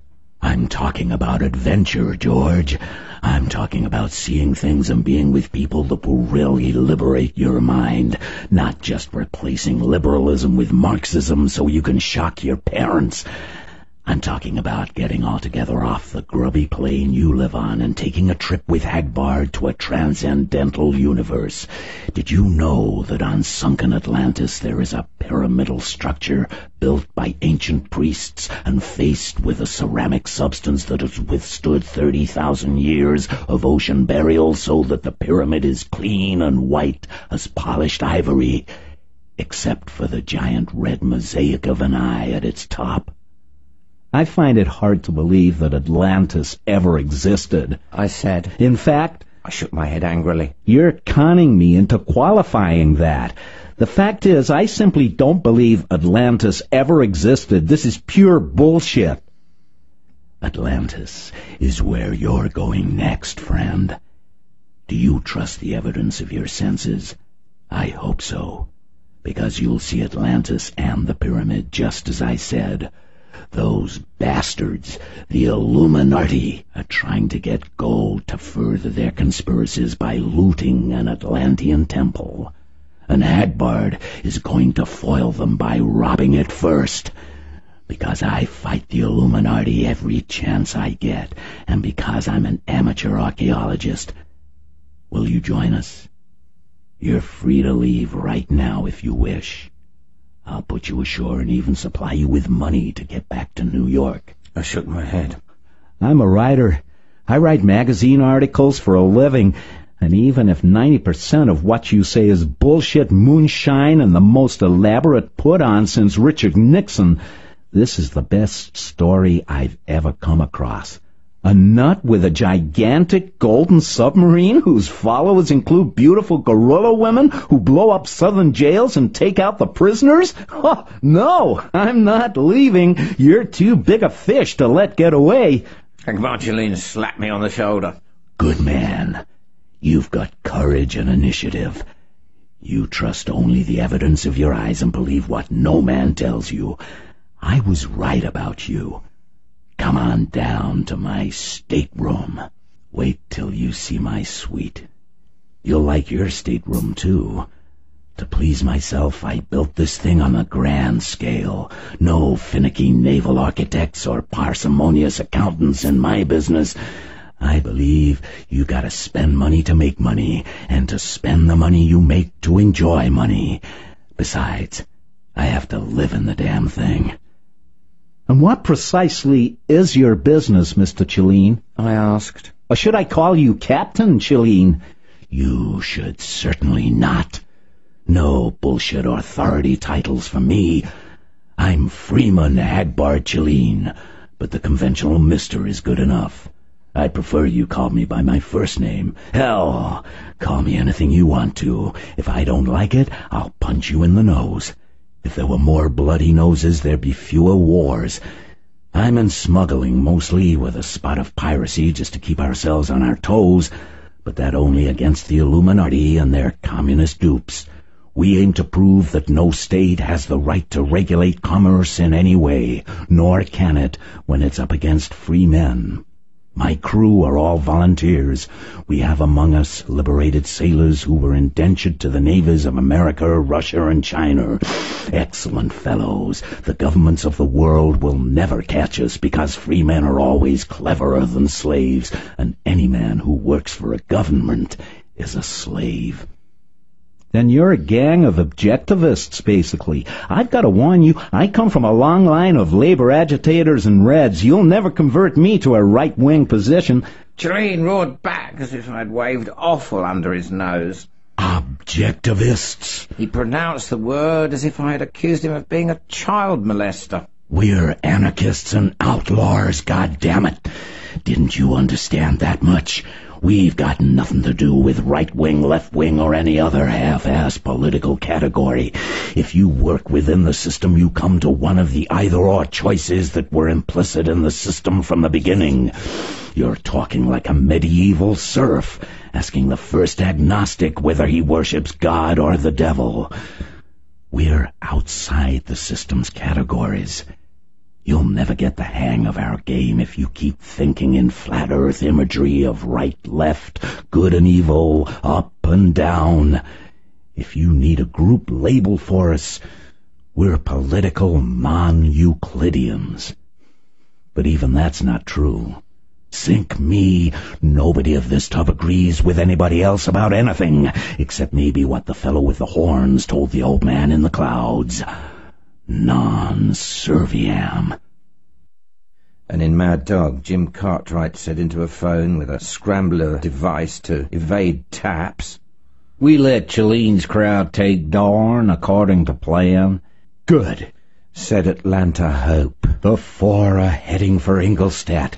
Everything is go. She hung up and dialed again at once, reaching Western Union. I want a flat rate telegram, same words, 23 different addresses. She said crisply. The message is, insert the advertisement in tomorrow's newspapers. Signature, Atlanta Hope. She then read off the 23 addresses, each located in a large city in the United States, each a regional headquarters of God's lightning. The plot, accordingly, thickened. Brother Burghard, who's actually a politician in Chicago under his real name, once explained the law of fives to me in relation to the pyramid of power principle.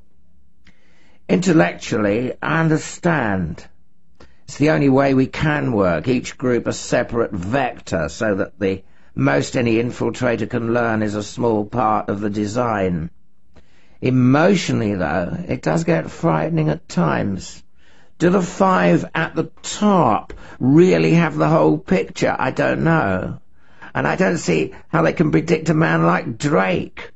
Or guess what he's planning next? There's a paradox here, I know. I joined the Order seeking power. And now I'm more a tool, an object than ever before. If a man like Drake ever thought that, he might tear the whole show apart. Unless the five really do have the powers they claim, but I'm not gullible enough to believe that bull. Some of it's hypnotism and some is plain old stage magic, but none of it is really supernatural. Nobody has sold me on a fairy tale since my uncle got into me when I was twelve with his routine about stopping the bleeding. The purple sage cursed and waxed sorely pissed, and cried out in a loud voice, A pox upon the accursed Illuminati of Bavaria! May their seed take no root. May their hands tremble, their eyes dim, and their spines curl up, yea, verily, like unto the backs of snails. And may the vaginal orifices of their women be clogged with Brillo pads for they have sinned against God and nature. They have made of life a prison, and they have stolen the green from the grass and the blue from the sky. And so saying and grimacing and groaning, the purple sage left the world of men and women and retired to the desert in despair and heavy grumpiness. But the high chaparral laughed and said to the Erisian faithful, our brother torments himself with no cause. For even the malign Illuminati are unconscious pawns of the divine plane of Our Lady. Mordecai Malignatus KNS, The Book of Contradictions, Liber 555. October the 23rd, 1970, was the 35th anniversary of the murder of Arthur Flegenheimer, alias the Dutchman, alias Dutch Schultz. But this dreary lot has no intention of commemorating that occasion. They are the Knights of Christianity United in Faith. The group in Atlantis were called Mouths of Le Have Keraft. United for the truth, you see what I mean? And their president, James J. Smiling Jim Treponema has noted a bearded and therefore suspicious young man among the delegates. Such types were not likely to be KCUF members and might even be dope fiends. Smiling Jim told the Andy Frain ushers to keep a watchful eye on the young man, so no funny business could occur, and then went to the podium to begin his talk on sex education communist Trojan horse in our schools. In Atlantis, it was numbers, nothing Aryan squid trap in our schools. the same drivel eternally.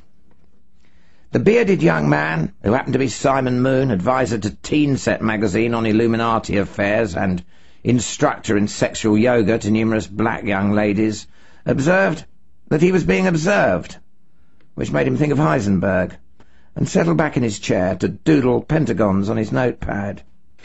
In Central Park, Perry the squirrel is beginning to hunt for the day's food. A French poodle held on a leash by a mink-coated lady, barks at him, and he runs three times round a tree.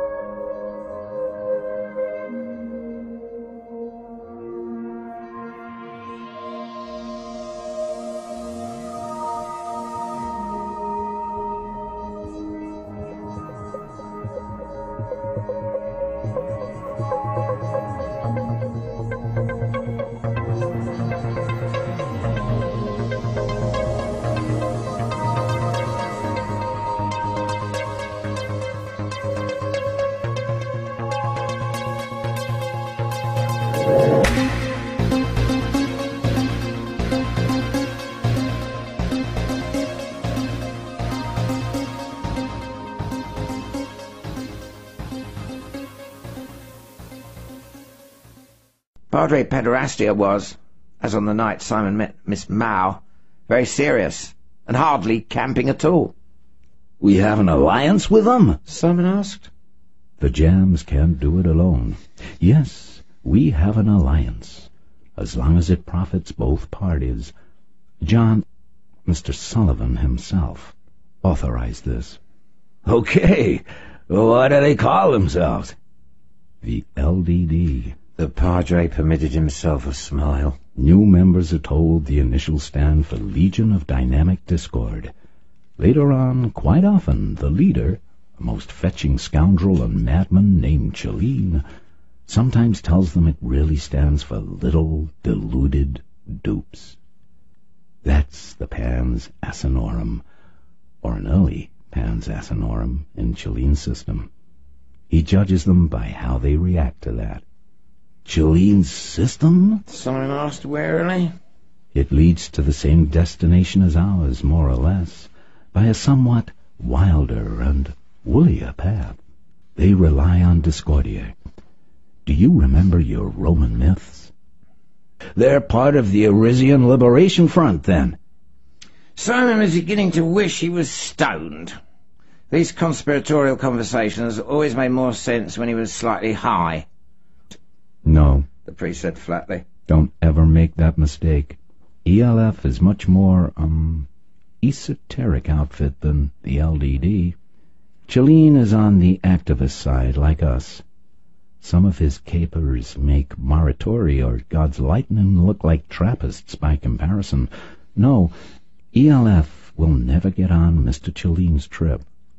He's got an absurdist yoga and an activist ethic. Simon reflected. The two don't mix. Celine is a walking contradiction. Look at his symbol again. I've been looking at it, and that pentagon worries me. Are you sure he's on our side? We're never sure anybody is on our side. Uncertainty is the name of the game. About Property is theft, Hagbard said, passing the peace pipe. If the BIA helps those real estate developers take our land, Uncle John Feather said, that will be theft. But if we keep the land, that is certainly not theft. Night was falling in the Mohawk Reservation, but Hagbard saw Sam Three Arrows nod vigorously in the gloom of the small cabin. He felt again that American Indians were the hardest people in the world to understand. His tutors had given him a cosmopolitan education, in every sense of the word, and he usually found no blocks in relating to people of any culture. But the Indians did puzzle him at times. After five years of specializing in handling the legal battles of various tribes against the Bureau of Indian Affairs and the land pirates it served, he was still conscious that these people's heads were some place he couldn't yet reach. Either they were the simplest or the most sophisticated society on the planet. Maybe, he thought, they were both. And the ultimate simplicity and the ultimate sophistication are identical. Property is liberty, Hagbard said. I am quoting the same man who said property is theft. He also said property is impossible. I speak from the heart. I wish you to understand why I take this case. I wish you to understand in fullness. Sam Three Arrows drew on the pipe, then raised his dark eyes to Hagbard's. You mean that justice is not known, like a dog who barks in the night. That is more like the unexpected sound in the woods that must be identified cautiously after hard thinking. There it was again. Hagbard had heard the same concreteness of imagery in the speech of the Shoshone at the opposite end of the continent. He wondered idly if Ezra Pound's poetry might have been influenced by habits of speech his father acquired from the Indians. Homer Pound had been the first white man born in Idaho. It certainly went beyond the Chinese, and it came not from books on rhetoric, but from listening to the heart, the Indian metaphor he had himself used a minute ago. He took his time about answering. He was beginning to acquire the Indian habit of thinking a long while before speaking. Property and justice are water, he said finally. No man can hold them.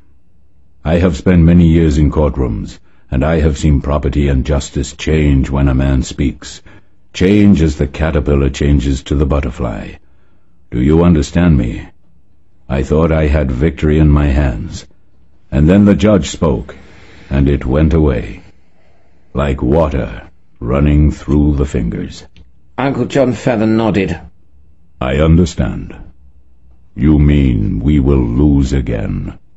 We are accustomed to losing. Since George Washington promised us these lands, as long as the mountain stands and the grass is green, and then broke his promise and stole part of them back in ten years. In ten years, my friend, we have lost, always lost. We have one acre left of each hundred promised to us then. We may not lose, Hagbard said. I promise you. The BIA will at least know that they have been in a fight this time. I learn more tricks and get nastier each time I go into a courtroom. I am a very tricky and very nasty person by now. But I am less sure of myself than I was when I took my first case. I no longer understand what I am fighting. I have a word for it. The snafu principle, I call it. But I do not understand what it is. There was another pause. Hagbard heard the lid on the garbage can in back of the cabin rattling. That was the raccoon that Uncle John Feather called Old Grandfather, come to steal his evening dinner. Property was theft, certainly in Old Grandfather's world, Hagbard thought. I am also puzzled, Sam Three Arrows said finally. I worked long ago in New York City in construction like many young men of the Mohawk Nation. I found that whites were often like us, and I could not hate them one at a time. But they do not know the earth or love it. They do not speak from the heart, usually. They do not act from the heart.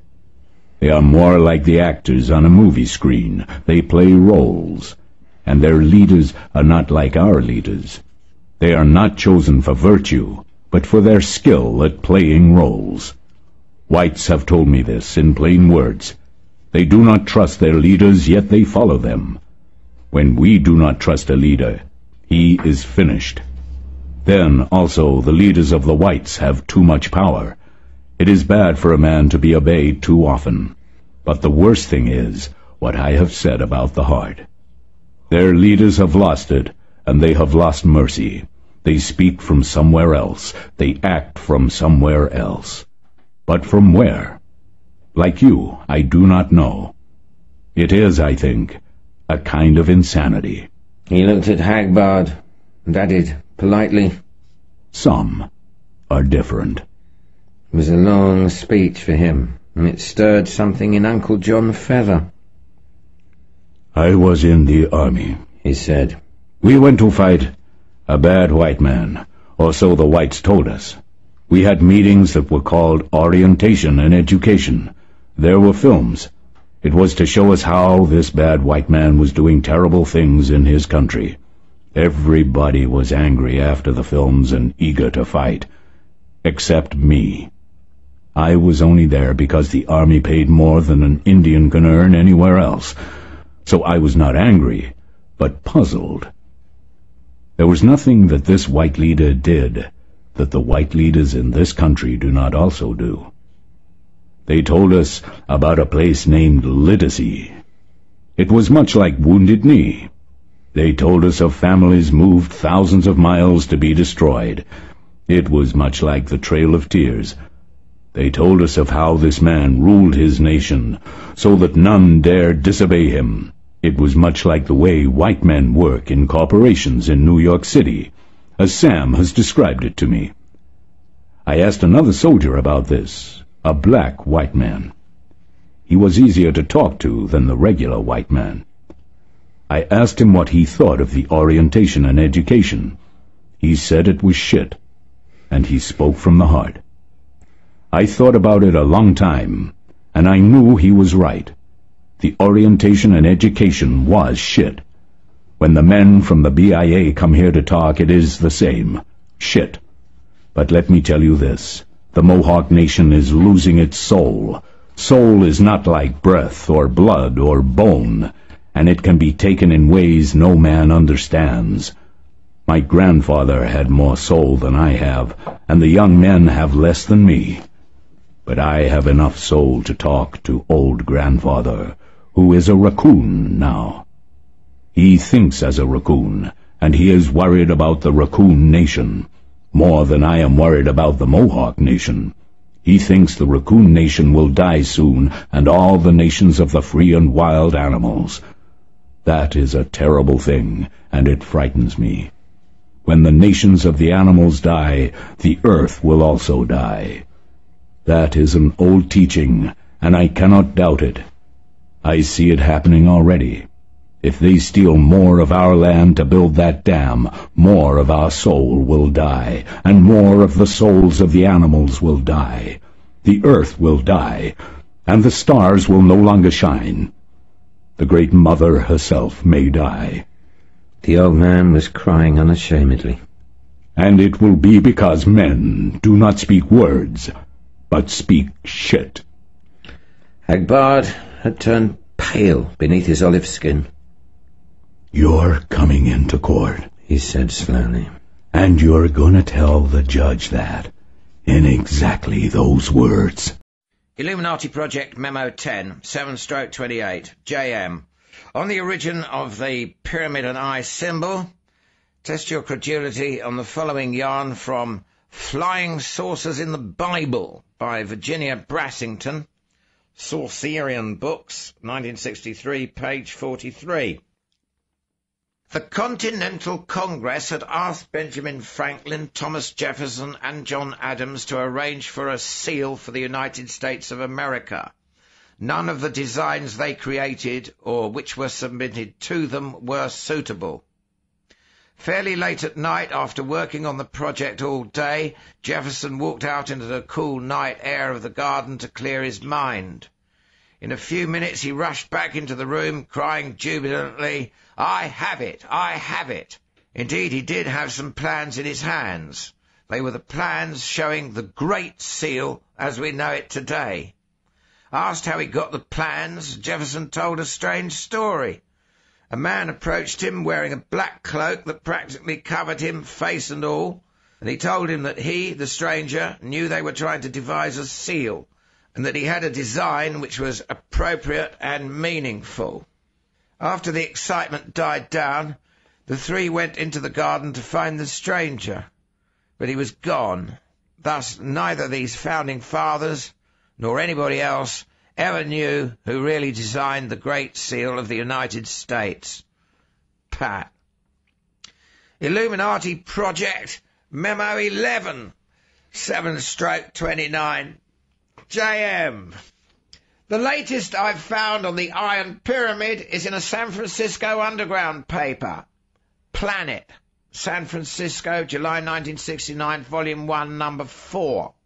Suggesting it as a symbol for Timothy Leary's political party when he was running for governor of California instead of just running. The emblem is a tentative design for the party's campaign button. One wag suggests that everyone cut out the circle from the back of a dollar bill and send the holy dollar to Governor Leary so he can wallpaper his office with them. Then paste the emblem on your front door to signify your membership in the party. Translations. The year of the beginning new secular order. Both translations are wrong, of course. Annuit coeptis means he blesses our beginning, and Novus Ordo Seclorum means a new order of the ages. Ah, well, scholarship was never the hippies' strong point. But Tim Leary, an Illuminatus? And pasting the eye on the door, I can't help but think of the Hebrews marking their doorways with the blood of a lamb, so that the angel of death would pass by their houses. Pat. Illuminati Project Memo 12, 8 stroke 3, JM. I've finally found the basic book on the Illuminati. Proofs of a Conspiracy by John Robison. Christian Book Club of America, Hawthorne, California, 1961. Originally published in 1801. Robison was an English Mason who discovered through personal experience that the French Masonic lodges, such as the Grand Orient, were Illuminati fronts and were the main instigators of the French Revolution. His whole book is very explicit about how Weishaupt worked. Every infiltrated Masonic group would have several levels, like an ordinary Masonic lodge, but as candidates advanced through the various degrees, they would be told more about the real purposes of the movement. Those at the bottom simply thought they were Masons.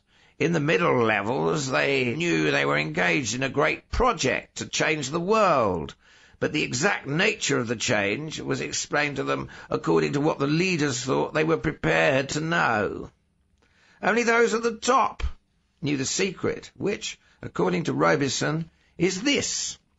The Illuminati aims to overthrow all government and religion, setting up an anarcho-communist free-love world.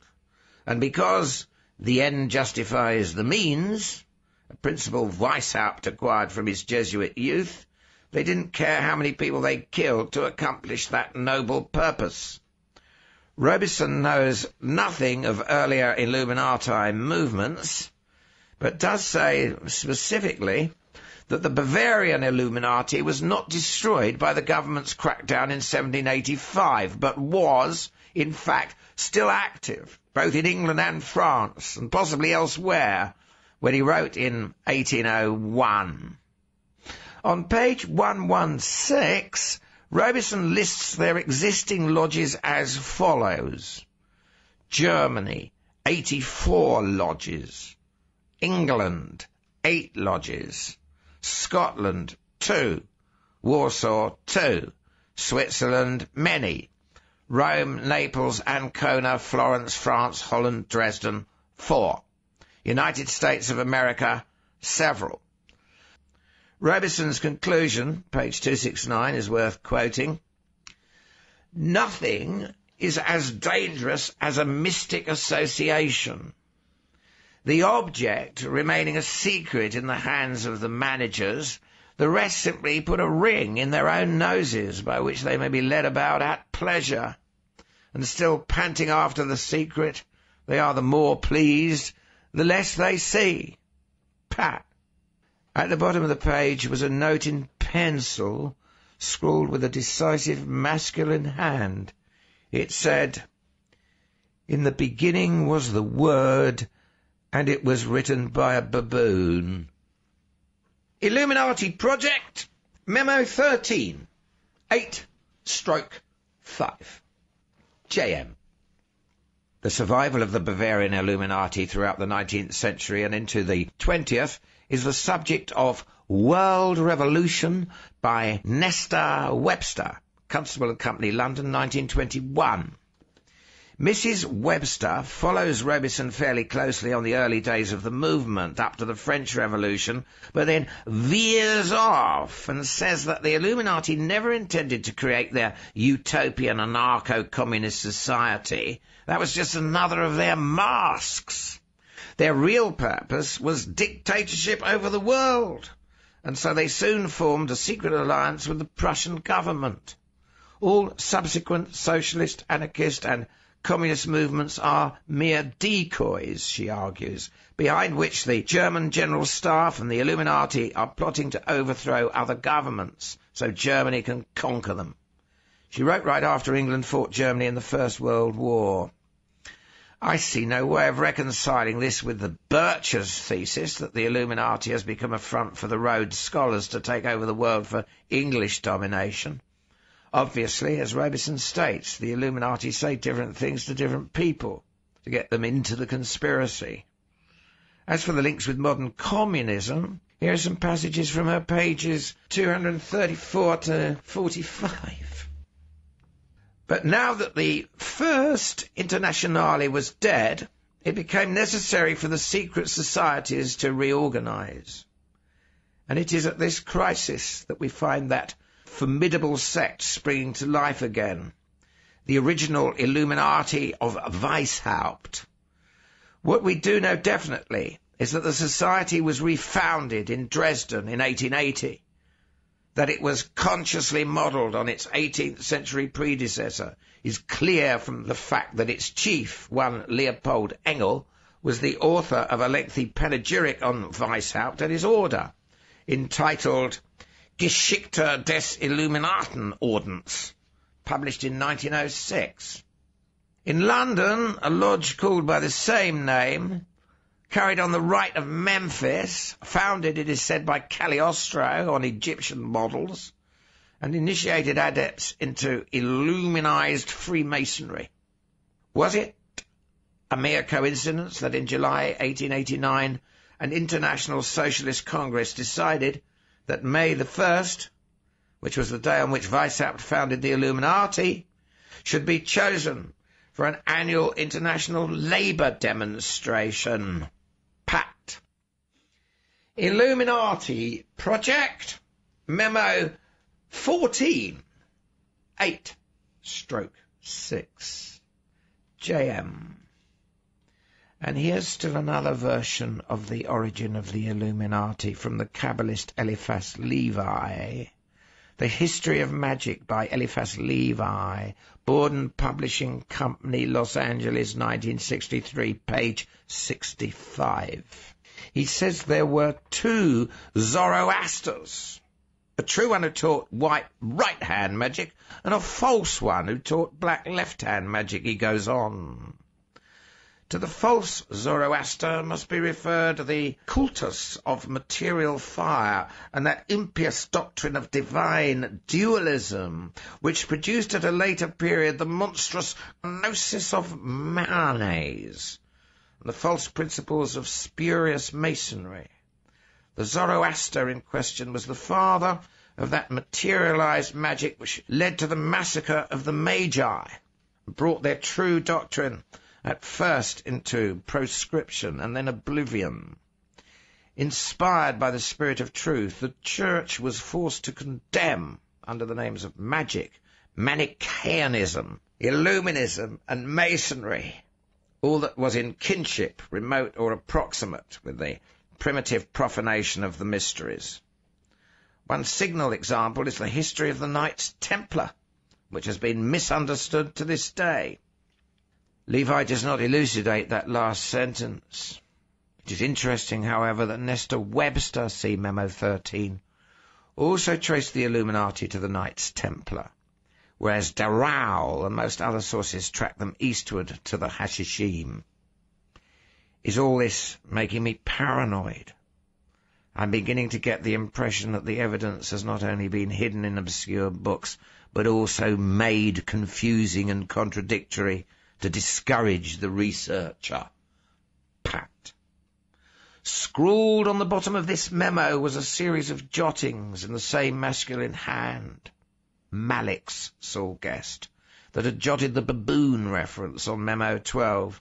The jottings said, Check on order of DeMolay.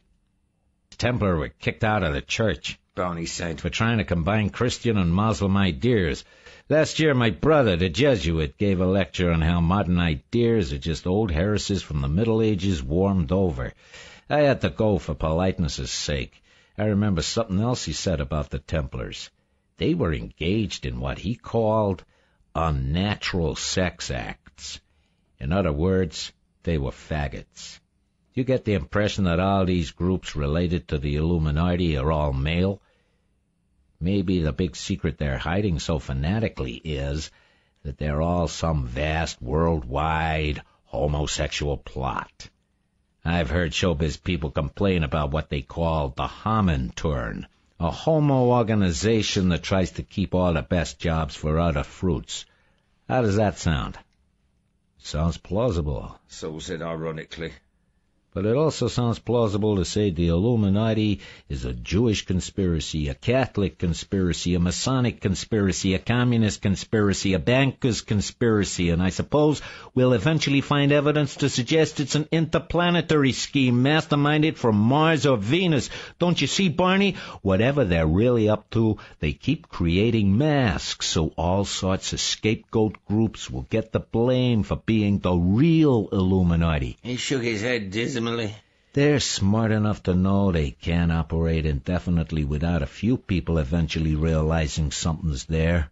So they've taken that into account and arranged for an inquisitive outsider to get all sorts of wrong ideas about who they are. They're dogs. Muldoon said. Intelligent talking dogs from the Dog Star Sirius. They came here and ate Malik just like they ate that guy in Kansas City, except that time they didn't get to finish the job. He turned back and read from Memo 8. With his throat torn, as if by the talons of some enormous beast. No animal was reported missing from any of the local zoos. He grinned. Lord God. I'm almost ready to believe it. Miskatonic University in Arkham, Massachusetts is not a well-known campus by any means, and the few scholarly visitors who come there are an odd lot, drawn usually by the strange collection of occult books given to the Miskatonic Library by the late Dr. Henry Armitage. Miss Doris Horace, the librarian, had never seen quite such a strange visitor, though, as this professor, J.D. Mallison, who claimed to come from Dayton, Ohio, but spoke with an unmistakable New York accent.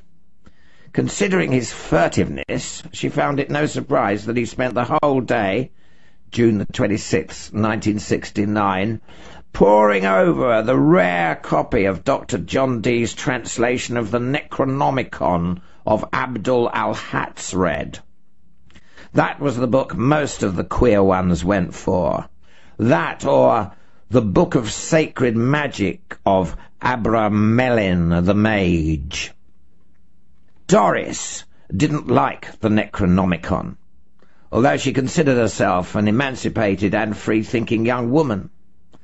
There was something sinister, or to be downright honest about it, perverted about that book, and not in a nice, exciting way, but in a sick and frightening way. All those strange illustrations, always with five-sided borders, just like the Pentagon in Washington. But with these people inside doing all these freaky sex acts, with these other creatures who weren't people at all. It was, frankly, Doris's opinion that old Abdul Alhazred had been smoking some pretty bad grass when he dreamed up those things.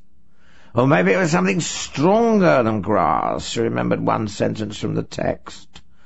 Only those who have eaten a certain alkaloid herb whose name it were wise not to disclose to the unilluminated, may in the fleshy see a Shoggoth.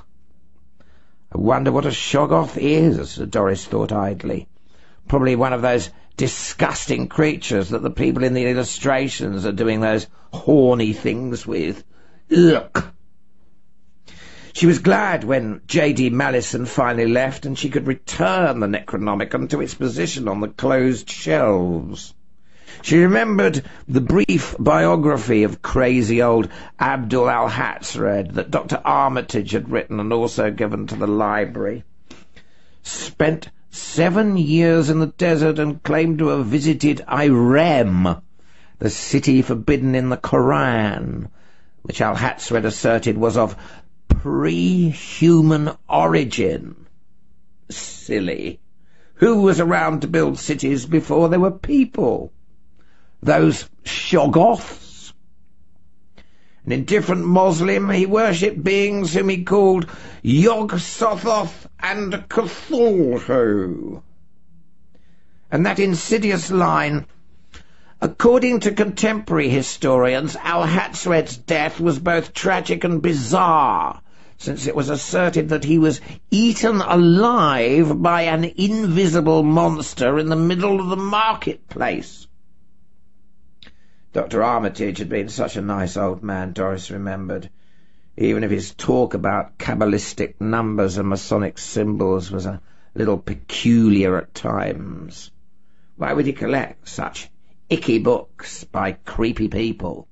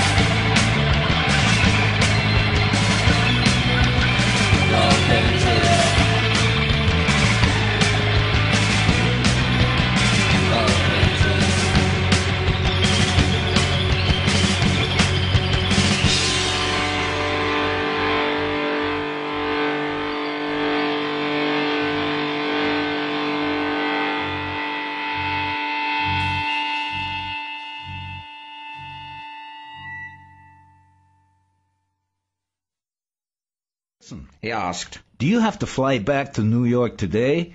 Can you possibly stay over a night? I got something I'd like you to see. It's time we started reaching people in your generation and really showing you instead of just telling you. Are you game? And Joe Malik, ex-Trotskyist, ex-engineering student, ex-liberal, ex-Catholic, heard himself saying, Yes. And heard a louder voice, unspeaking, uttering a more profound. Yes. Deep inside himself, he was game.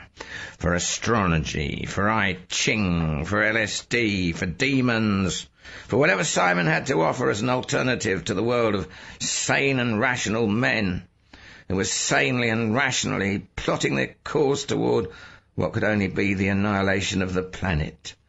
We shall not be moved. God is dead. The priest chanted. God is dead. The congregation repeated in chorus.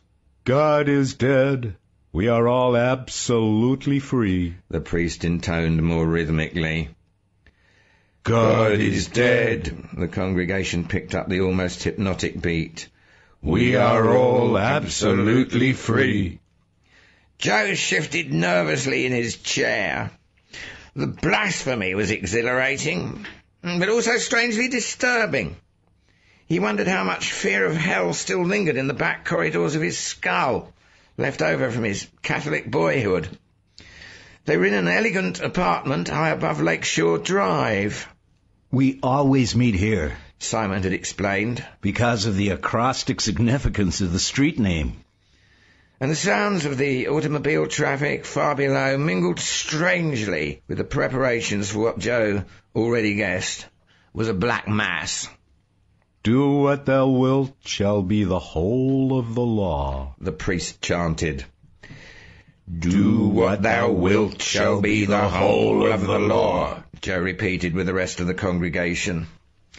The priest, who was the only one who had not removed his clothes before the beginning of the ceremony, was a slightly red-faced middle-aged man in a Roman collar, and part of Joe's discomfort derived from the fact that he looked so much like every Catholic priest he had known in his childhood. It had not helped matters that he had given his name when Simon introduced Joe to him as Padre Pederastia, which he pronounced with a very campy inflection, looking flirtatiously directly in Joe's eyes. The congregation divided, in Joe's mind, into two easily distinguishable groups. Poor full-time hippies from the old town area and rich part-time hippies from Lakeshore Drive itself, and no doubt also from the local advertising agencies on Michigan Avenue. There were only eleven of them, however, including Joe, and Padre Pederastia made twelve. Where was the traditional thirteenth?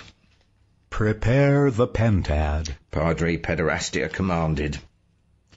Simon and a rather good-looking young female, both quite unself-conscious in their nakedness, arose and left the group, walking toward the door which Joe had assumed led to the bedroom area. They stopped to take some chalk from a table on which hashish and sandalwood incense were burning in a goat's head taper, then squatted to draw a large pentagon on the blood-red rug. A triangle was then added to each side of the pentagon, forming a star. The special kind of star, Joe knew, which was known as pentagram, symbol of werewolves and also of demons. He found himself remembering the corny old poem from the Lon Chaney Jr. movies, but it suddenly didn't sound like kitsch anymore. Even a man who is pure of heart and says his prayers by night can turn to a wolf when the wolf bane blooms and the autumn moon is bright. I owe, The priest chanted raptly. I owe, The chorus came. I owe, E O, Evo A, The chant rose weirdly.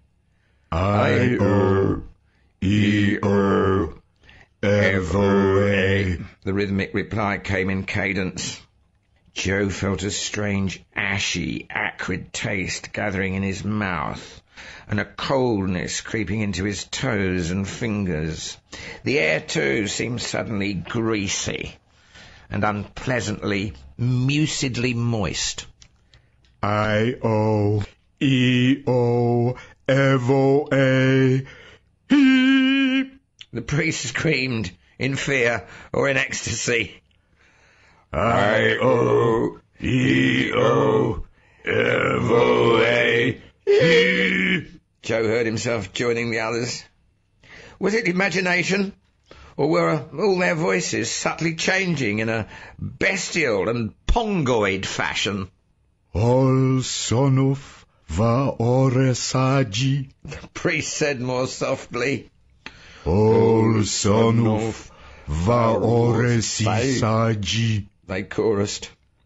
It is accomplished. The priest said. We may pass the guardian. The congregation arose and moved toward the door. Each person, Joe noticed, was careful to step into the pentagram and pause there a moment, gathering strength before actually approaching the door. When it was his turn, he discovered why. The carving on the door, which had seemed merely obscene and ghoulish from across the room, was more disturbing when you were closer to it. It was not easy to convince yourself that those eyes were just a trick of trompe de l'oeil. The mind insisted on feeling that they very definitely looked at you, and not affectionately, as you passed. This thing was the Guardian, which had to be pacified before they could enter the next room.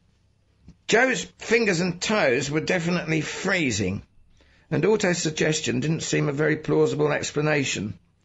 He seriously wondered about the possibility of frostbite. But then he stepped into the pentagram, and the cold suddenly decreased. The eyes of the Guardian were less menacing, and a feeling of renewed energy flowed through his body, such as he had experienced in a sensitivity training session after he had been cajoled by the leader into unleashing a great deal of pent-up anxiety and rage by kicking, screaming, weeping and cursing. He passed the Guardian easily and entered the room where the real action would occur.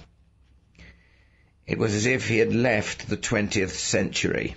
The furnishings and the very architecture were Hebraic, Arabic, and medieval European, all mixed together in a most disorienting way, and entirely unrelieved by any trace of the modern or functional. A black draped altar stood in the centre, and upon it lay the thirteenth member of the coven.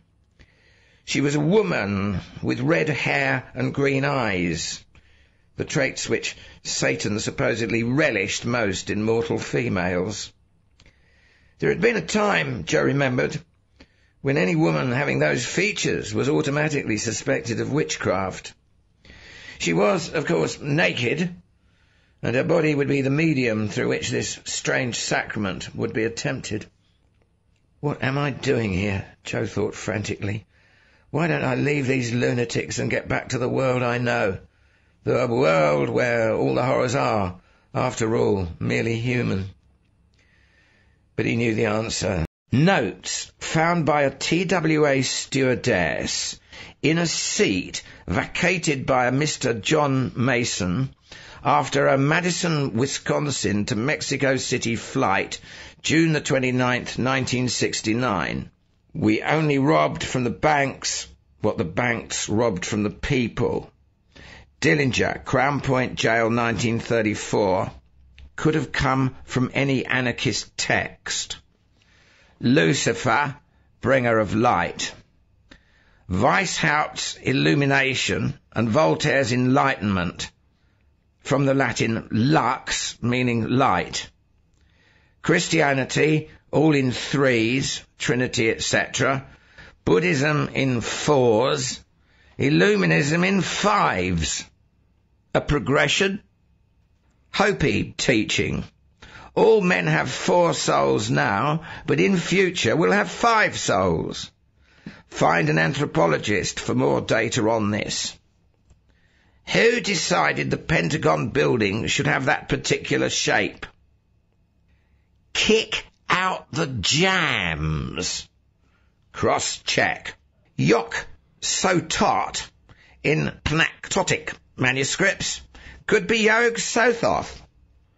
Must get Simon to explain the yellow sign and the Aklo chants. Might need protection. C says the H neophobe type outnumbers us 1,000 to 1. If so, all this is hopeless.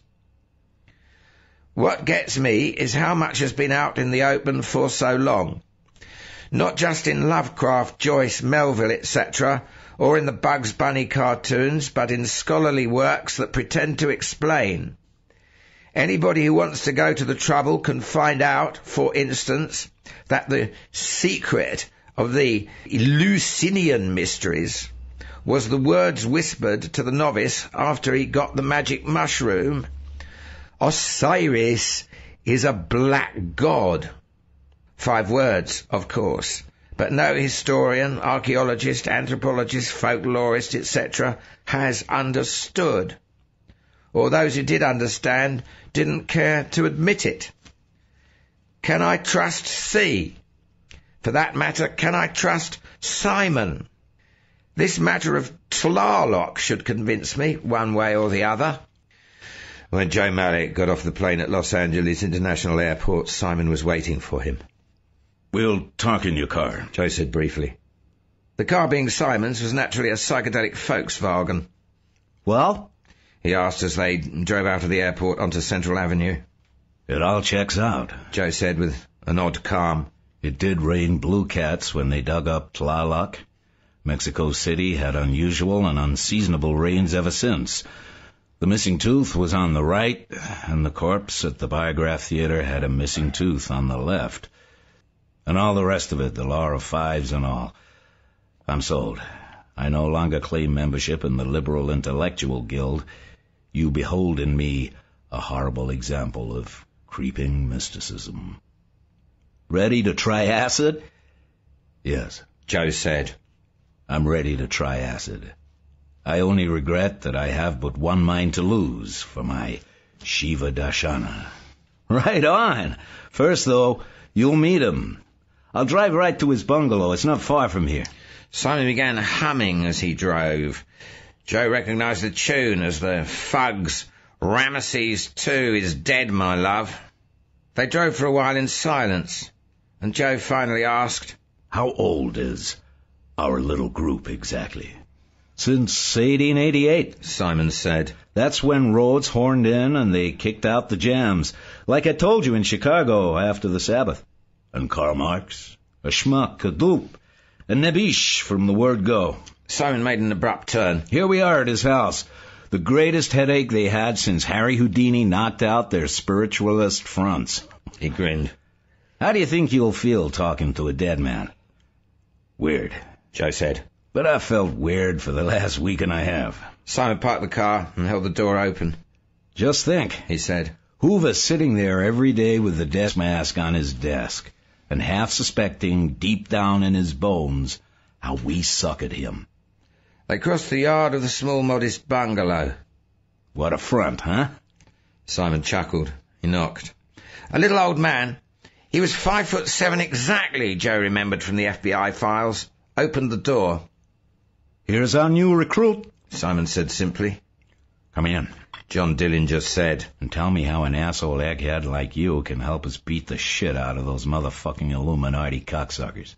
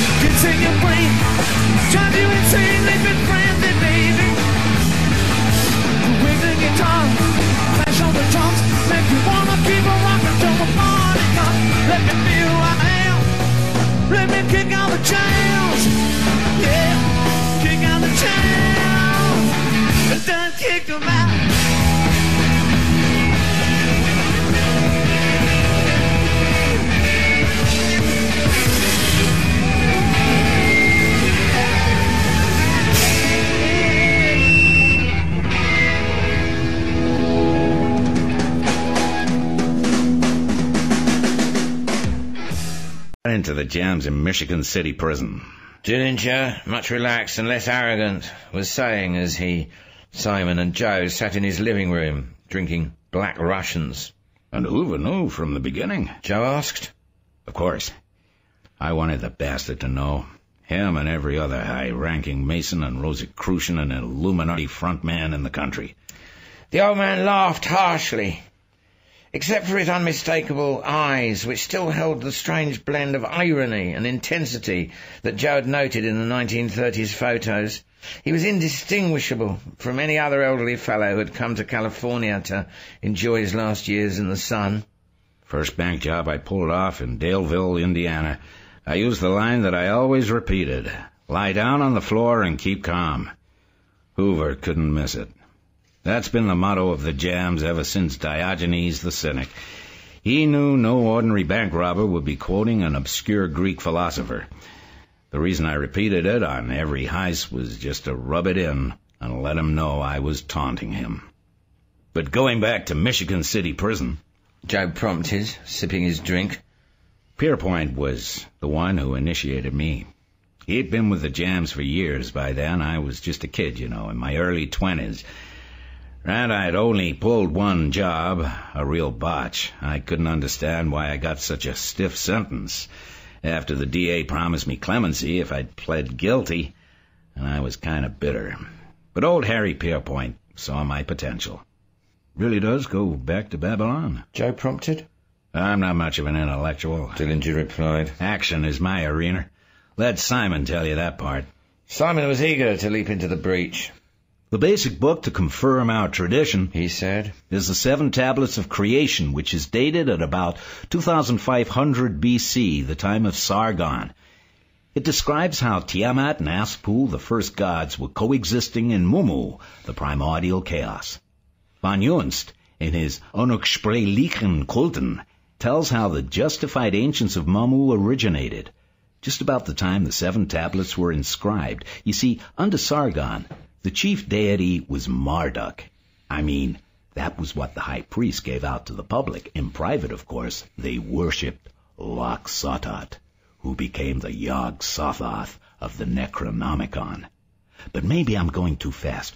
Getting back to the official religion of Marduk, it was based on usury. The priests monopolized the medium of exchange and were able to extract interest for lending it. They also monopolized the land and extracted tribute for renting it. It was the beginning of what we laughingly call civilization, which has always rested on rent and interest. The old Babylonian con. The official story was that Mummu was dead, killed in the war between the gods.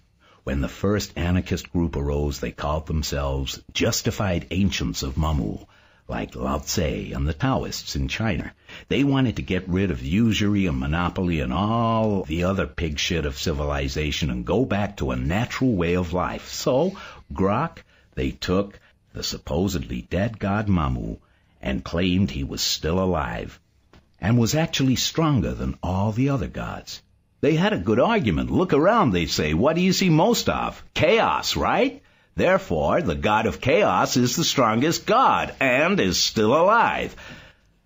Of course, we got our ass whipped good. We were just no match for the Illuminati in those days.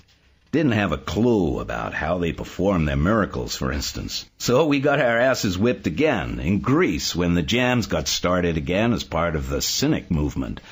By the time the whole thing was happening again in Rome, usury and monopoly and the whole bag of tricks, the truce took place. The justified ancients became part of the Illuminati, a special group still keeping our own name but taking orders from the five. We thought we'd humanize them, like the anarchists who stayed in SDS after last year. And so it went until 1888 when Cecil Rhodes started the Circle of Initiates and the big schism occurred. Every meeting would have a faction of Rhodes boys carrying signs that said, kick out the jams. It was the parting of the ways. They just didn't trust us, or maybe they were afraid of being humanized. But we had learned a lot by our long participation in the Illuminati conspiracy, and now we know how to fight them with their own weapons. Fuck their weapons. Dillinger interrupted. I like to fight 'em with my weapons. You're behind the big unsolved bank robberies of the last few years. Sure, just in the planning, though. I'm too old to vault over tellers' cages and carry on like I did back in the 30s. John is also fighting on another front. Simon interjected. Dillinger laughed. Yeah. He said, I'm the president of Laughing Buddha Jesus Phallus Inc. You've seen him. If it's not an LBJP, it's not an LP. Laughing Buddha Jesus Phallus? Joe exclaimed. My God, you put out the best rock in the country, the only rock a man my age can listen to without wincing. Thanks. Dillinger said modestly. Actually, the Illuminati own the companies that put out most of the rock. We started Laughing Buddha Jesus Phallus to counterattack. We were ignoring that front until they got the MC5 to cut a disc called Kick Out the Jams, just to taunt us with old bitter memories. So we came back with our own releases, and the next thing I know, well, I was making bales of money from it. We've also fed information through third parties to Christian Crusade in Tulsa, Oklahoma, so they could expose some of what the Illuminati are doing in the rock field. You've seen the Christian Crusade publications, Rhythm, Riots and Revolution and Communism, Hypnotism and the Beatles and so forth? Yeah. Joe said absently. I thought it was not literature. It's so hard. He added. To grasp the whole picture. You'll get used to it. Simon smiled. It just takes a while to sink in. Give him a hint, John. Simon suggested with an anticipatory grin. Tell him how you got out of Crown Point jail. I've read two versions of that. Joe said. Most of the sources claim you carved a fake gun out of balsa wood and dyed it black with your shoe polish. Toland's book says that you made that story up and leaked it out to protect the man who really managed the break for you. A federal judge that you bribed to smuggle in a real gun. Which was it? Neither. Dillinger said. Crown Point was known as the escape-proof jail before I crashed out of it, and believe me, it deserved the name. You want to know how I did it? I walked through walls. The picture I get is not a grand puppet master moving everybody on invisible strings, but some sort of million-armed octopus. A millipus, let's call it. Constantly reaching out tentacles and often drawing back nothing but a bloody stump, crying, foiled again. But the millipus is very busy and quite resourceful. If it controlled the planet, it could choose either operating in the open or retaining secrecy. But since it doesn't have that omnipotence yet, it must choose to be as anonymous as possible. Therefore, many of its tentacles will be probing around in the areas of publication and communications. It wants to know when somebody is investigating it or getting ready to publicize an investigation he's already completed. Finding such a person, it then has two choices. Kill him or neutralize him.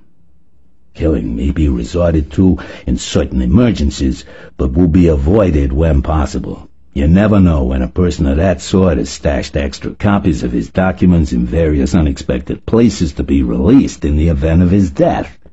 Neutralization is best, almost always. Saul paused to relight his pipe. And Muldoon thought, the most unrealistic aspect of Doyle's stories is Watson's admiration at these moments. I'm just irritated because he makes me feel like a chump for not seeing it myself. Go ahead, he said gruffly, saving his own deductions until Saul was finished. The best form of neutralization is recruitment, of course. But any crude and hurried effort at recruitment is known as taking your pants down in the espionage business because it makes you more vulnerable. The safest approach is gradual recruitment, disguised as something else. The best disguise, of course, is the pretense of helping the subject in his investigation.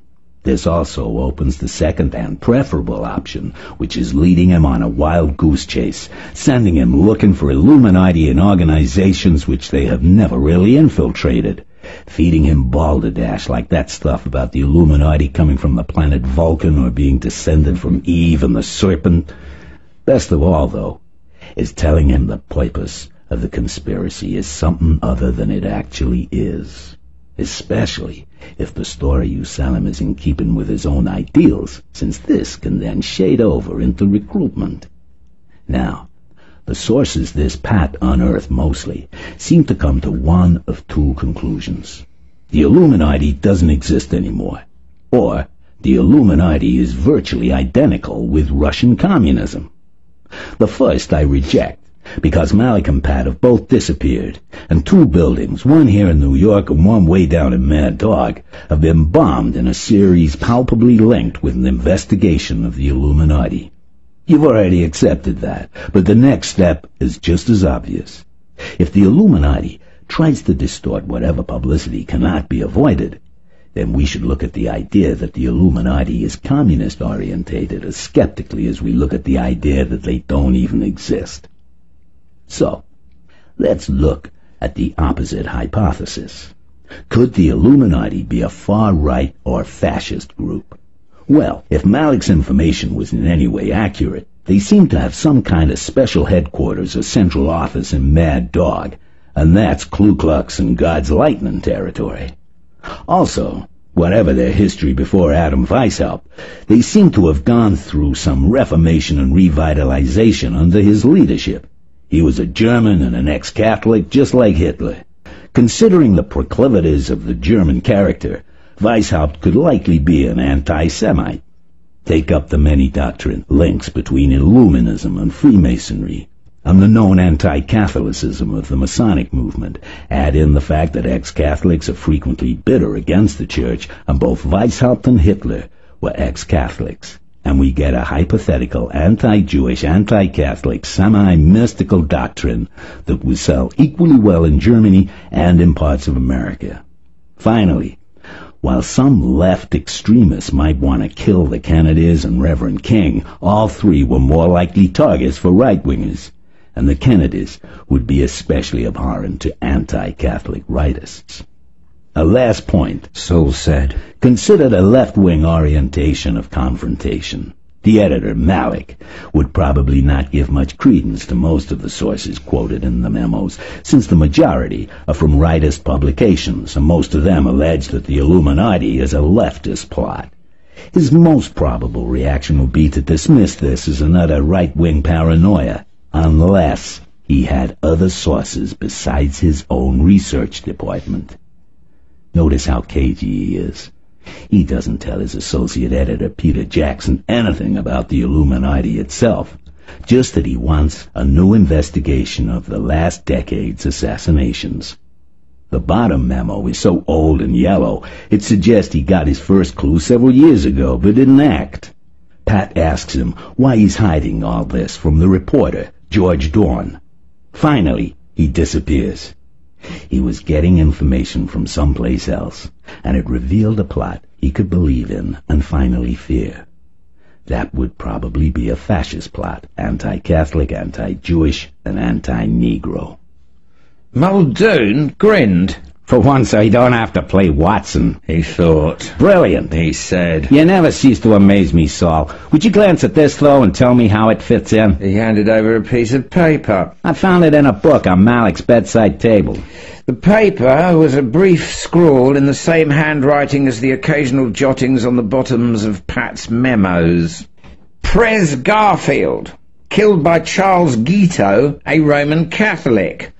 Pres McKinley, ditto by Leon Czolgosz, a Roman Catholic. Pres Theodore Roosevelt, attempted assassination by John Schrank, a Roman Catholic. Pres Franklin Roosevelt, attempted assassination by Giuseppe Zangara, a Roman Catholic. President Harry Truman, attempted assassination by Griselio Torresola and Oscar Collazo, two Roman Catholics.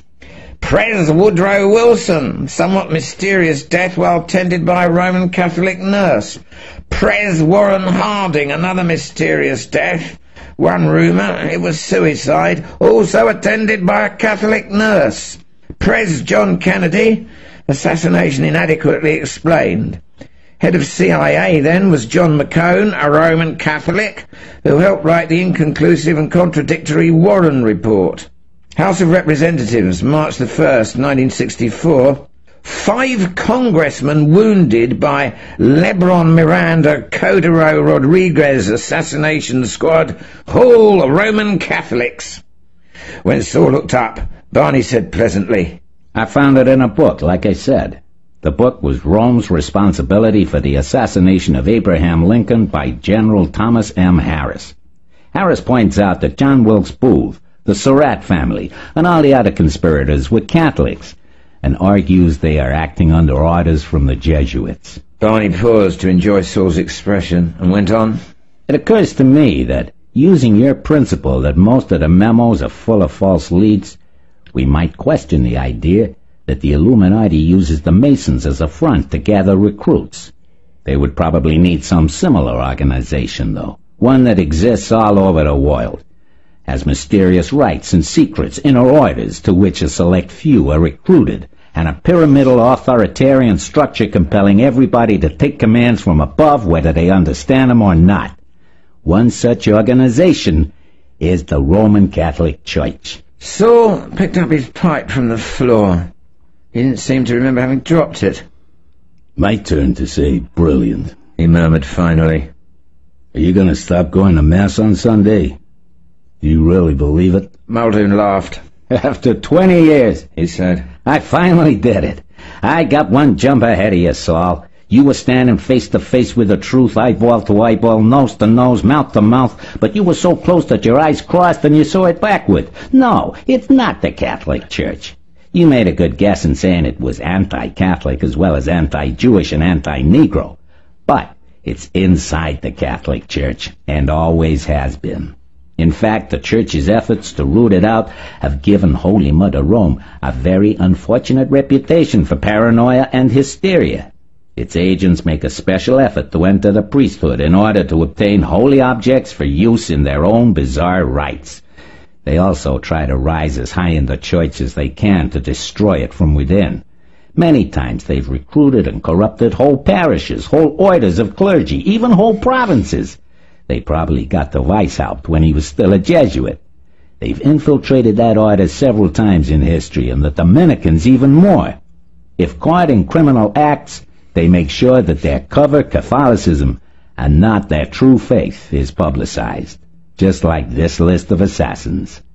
Their god is called the Light Bearer, and that's probably where the word illumination comes from and Malik asked about him a long time ago and was told by this W.H., quite correctly, that they still exist. I'm talking about the Satanists, of course. Then this person, this being, Joe protested, really is supernatural. Supernatural schmoopernatural. Simon grimaced. You're still like the people in that mathematical parable about flatland. You can only think in categories of right and left, and I'm talking about up and down. So you say supernatural. There is no supernatural. There are just more dimensions than you're accustomed to, that's all. If you were living in flatland and I stepped out of your plane into a plane at a different angle, it would look to you as if I'd vanished into thin air. Somebody looking down from our three-dimensional viewpoint would see me going off at a tangent from you and wonder why you were acting so distressed and surprised about it. But the flash of light, it's energy transformation. Simon explained patiently. Look, the reason you can only think three-dimensionally is because there are only three directions in cubical space. That's why the Illuminati and some of the kids they've allowed to become partially illuminized lately refer to ordinary science as square. The basic energy vector coordinates of universe are five-dimensional, of course, and can best be visualized in terms of the five sides of the Illuminati Pyramid of Egypt. Five sides? Joe objected. It only has four. You're ignoring the bottom. Oh, go on. Energy is always triangular, not cubical. Bucky Fuller has a line on this, by the way. He's the first one outside the Illuminati to discover it independently. The basic energy transformation we're concerned with is the one Fuller hadn't discovered yet. Although he said he's looking for it. The one that ties mind into the matter-energy continuum. The pyramid is the key. You take a man in the lotus position and draw lines from his pineal gland, the third eye, as the Buddhists call it, to his two knees, and from each knee to the other. And this is what you get. Simon sketched rapidly in his notepad and passed it over to Joe. When the pineal eye opens, after fear is conquered, after your first bad trip, you can control the energy field entirely. Simon went on. An Irish Illuminatus of the ninth century, Scotus Erigena, put it very simply, in five words, of course, when he said, Omnia quia sunt, lumina sunt. All things that are, are lights. Einstein also put it into five symbols when he wrote E equals mc squared. The actual transformation doesn't require atomic reactors and all that jazz once you learn how to control the mind vectors, but it always lets off one hell of a flash, as John can tell you. Damn near blinded me and knocked me on my ass that first time in the woods. Dillinger agreed. But I was sure glad to know the trick. I was never afraid of being arrested after that, 'cause I could always walk out of any jail they put me in. That's why the feds decided to kill me, you know. It was embarrassing to always find me wandering around loose again after a few days after they locked me up. You know the background to the Biograph Theater scam. They killed three guys in Chicago without giving them a chance to surrender because they thought I was one of them. Well, those three were all wanted in New York for armed robbery, so nobody criticized the cops much for that caper. But then up in Lake Geneva, Wisconsin, they shot three very respectable businessmen, and one of them went and died and Hoover's heroes caught all sorts of crap from the newspapers. So I knew where it was at. I could never again surrender and walk away a few days later. We had to produce a body for them. The old man looked suddenly sad. There was one possibility that we hated to think about. But luckily, it didn't come to that. The gimmick we finally worked out was perfect. And everything really follows the Fives law? Joe asked. More than you can guess. Dillinger remarked blandly. Even when you're dealing with social fields, Simon added. We've run studies of cultures where the Illuminati were not in control, and they still follow Weishaupt's five-stage pattern. Verwirrung, Zweitracht, Unordnung, Herrschaft, and Grummet. That is, chaos, discord, confusion, bureaucracy, and aftermath. America right now is between the fourth and fifth stages, or you might say that the older generation is mostly in the Beamtenherrschaft, and the younger generation is moving into Grummet rapidly. Joe took another stiff drink and shook his head. But why do they leave so much of it out in the open? I mean, not merely the really shocking things you told me about the Bugs Bunny cartoons, but putting the pyramid on the dollar bill where everybody sees it almost every day. Hell, Simon said, look what Beethoven did when Weishaupt illuminated him. Went right home and wrote the Fifth Symphony. You know how it begins. Ba-da-da-dum. Morse code for five. The Roman numeral for five. Right out in the open, as you say. It amuses the devil out of them to confirm their low opinion of the rest of humanity by putting things up front like that and watching how almost everybody misses it. Of course, if somebody doesn't miss something, they recruit him right away. Look at Genesis. Lux fiat. Right on the first page. They do it all the time. The Pentagon Building, 23 Skidoo, the lyrics of rock songs like Lucy in the Sky with Diamonds. How obvious can you get? Melville was one of the most outrageous of the bunch. The very first sentence of Moby Dick tells you he's a disciple of Hassan i Sabbah, but you can't find a single Melville scholar who's followed up that lead in spite of Ahab being a truncated anagram of Sabbah. He even tells you again and again, directly and indirectly, that Moby Dick and Leviathan are the same creature, and that Moby Dick is often seen at the same time in two different parts of the world. But not one reader in a million groks what he's hinting at. There's a whole chapter on whiteness and why white is really more terrifying than black. All the critics miss the point. Osiris is a black god. Joe quoted. Right on! You're going to advance fast. Simon said enthusiastically. In fact, I think it's time for you to get off the verbal level and really confront your own Lucy in the sky with diamonds. Your own Lady Isis. Yeah, Dillinger said. the Leif Erikson is laying offshore near California right now. Hagbard's running some hashish to the students at Berkeley. He's got a new black chick in his crew who plays the Lucy role extremely well. We'll have him send her ashore for the right. I suggest that you two drive up to the Norton Lodge in Frisco, and I'll arrange for her to meet you there. I don't like dealing with Hagboy, Simon said. He's a right-wing nut, and so is his whole gang.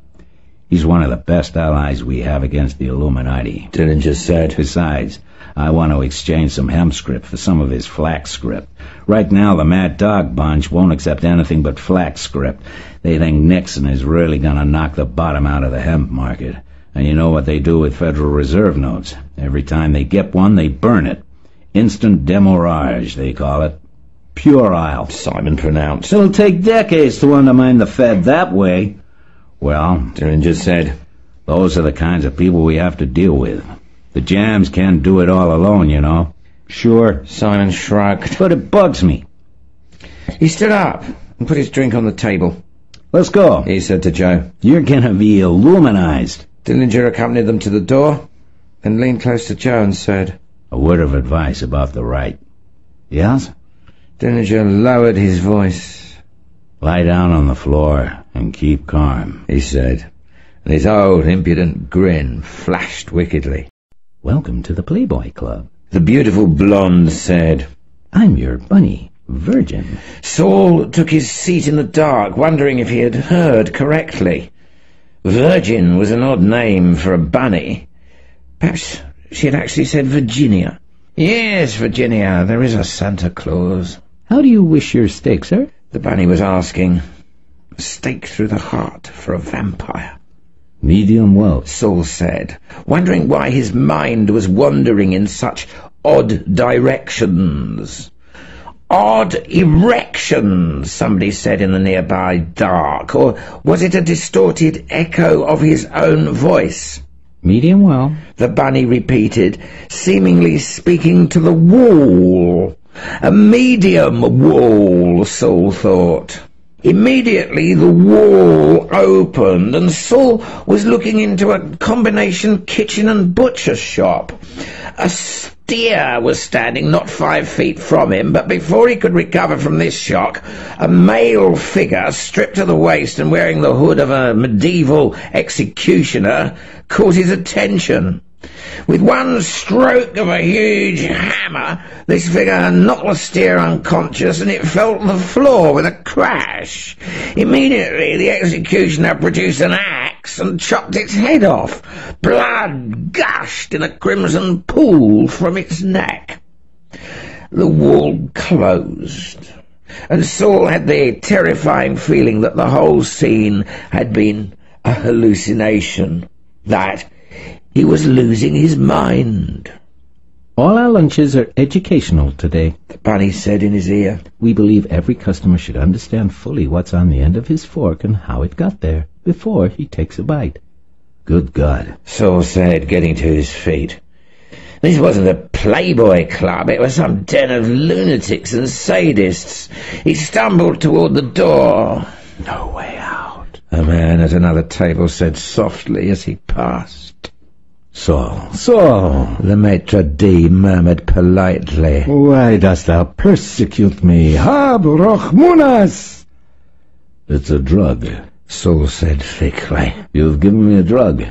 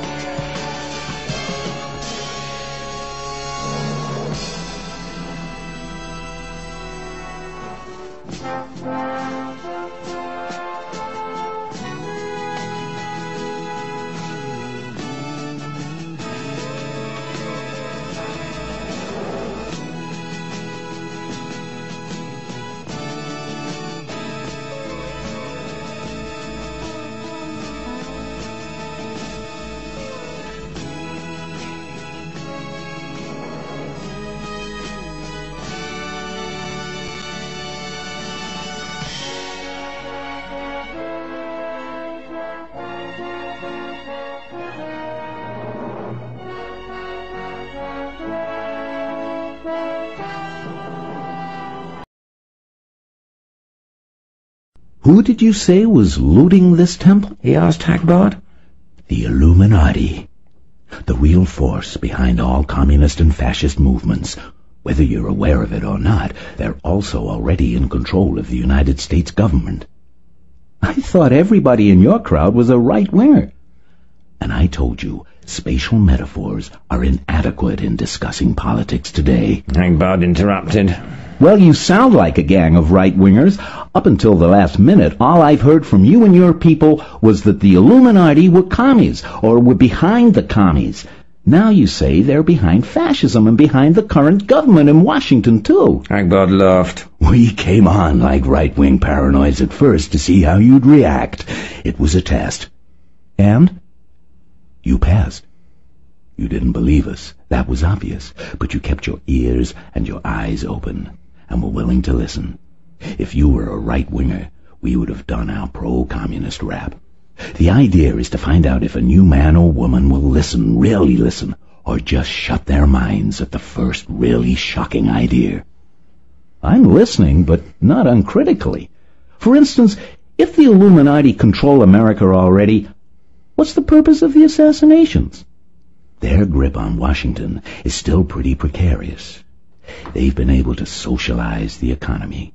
But if they showed their hand now and went totalitarian all the way, there would be a revolution. Middle readers would rise up with right-wingers and left libertarians, and the Illuminati aren't powerful enough to withstand that kind of massive revolution. But they can rule by fraud, and by fraud eventually acquire access to the tools they need to finish the job of killing off the Constitution. What sort of tools? More stringent security measures, universal electronic surveillance, no-knock laws, stop-and-frisk laws, government inspection of all first-class mail, automatic fingerprinting, photographing, blood tests, and urinalysis of any person arrested before he's charged with a crime. A law making it unlawful to resist even unlawful arrest. Laws establishing detention camps for potential subversives, gun control laws, restrictions on travel, the assassinations, you see, establish the need for such laws in the public mind. Instead of realizing that there is a conspiracy conducted by a handful of men, the people reason, or are manipulated into reasoning, that the entire populace must have its freedom restricted in order to protect the leaders. The people agree that they themselves can't be trusted. Targets for assassinations will be mavericks of left or right who are either not part of the Illuminati conspiracy or have been marked as unreliable. The Kennedy brothers and Martin Luther King, for example, were capable of mobilizing a somewhat libertarian left-right, black-white populist movement. But the assassinations that have occurred so far are nothing to what will take place. The next wave will be carried out by the Mafia, who will be paid in Illuminati gold. Not Moscow gold? said George with a smile. The puppets in the Kremlin have no idea that they and the puppets in the White House are working for the same people. The Illuminati control all sorts of organizations and national governments without any of them being aware that others are also controlled. Each group thinks it's competing with the others, while actually each is playing its part in the Illuminati plan. Even the Morituri, the six-person affinity groups which splintered from the SDS Weathermen because the Weathermen seemed too cautious, are under the control of the Illuminati. They think they're working to bring down the government, but actually they are strengthening its hand. The Black Panthers are also infiltrated. Everything is infiltrated. At present rate, within the next few years, the Illuminati will have the American people under tighter surveillance than Hitler had the Germans. And the beauty of it is, the majority of the Americans will have been so frightened by Illuminati-backed terrorist incidents that they will beg to be controlled as a masochist begs for the whip. George shrugged. Hagbard sounded like a typical paranoid. But there was this submarine and the strange events of the past few days. So the Illuminati are conspiring to tyrannize the world, is that it?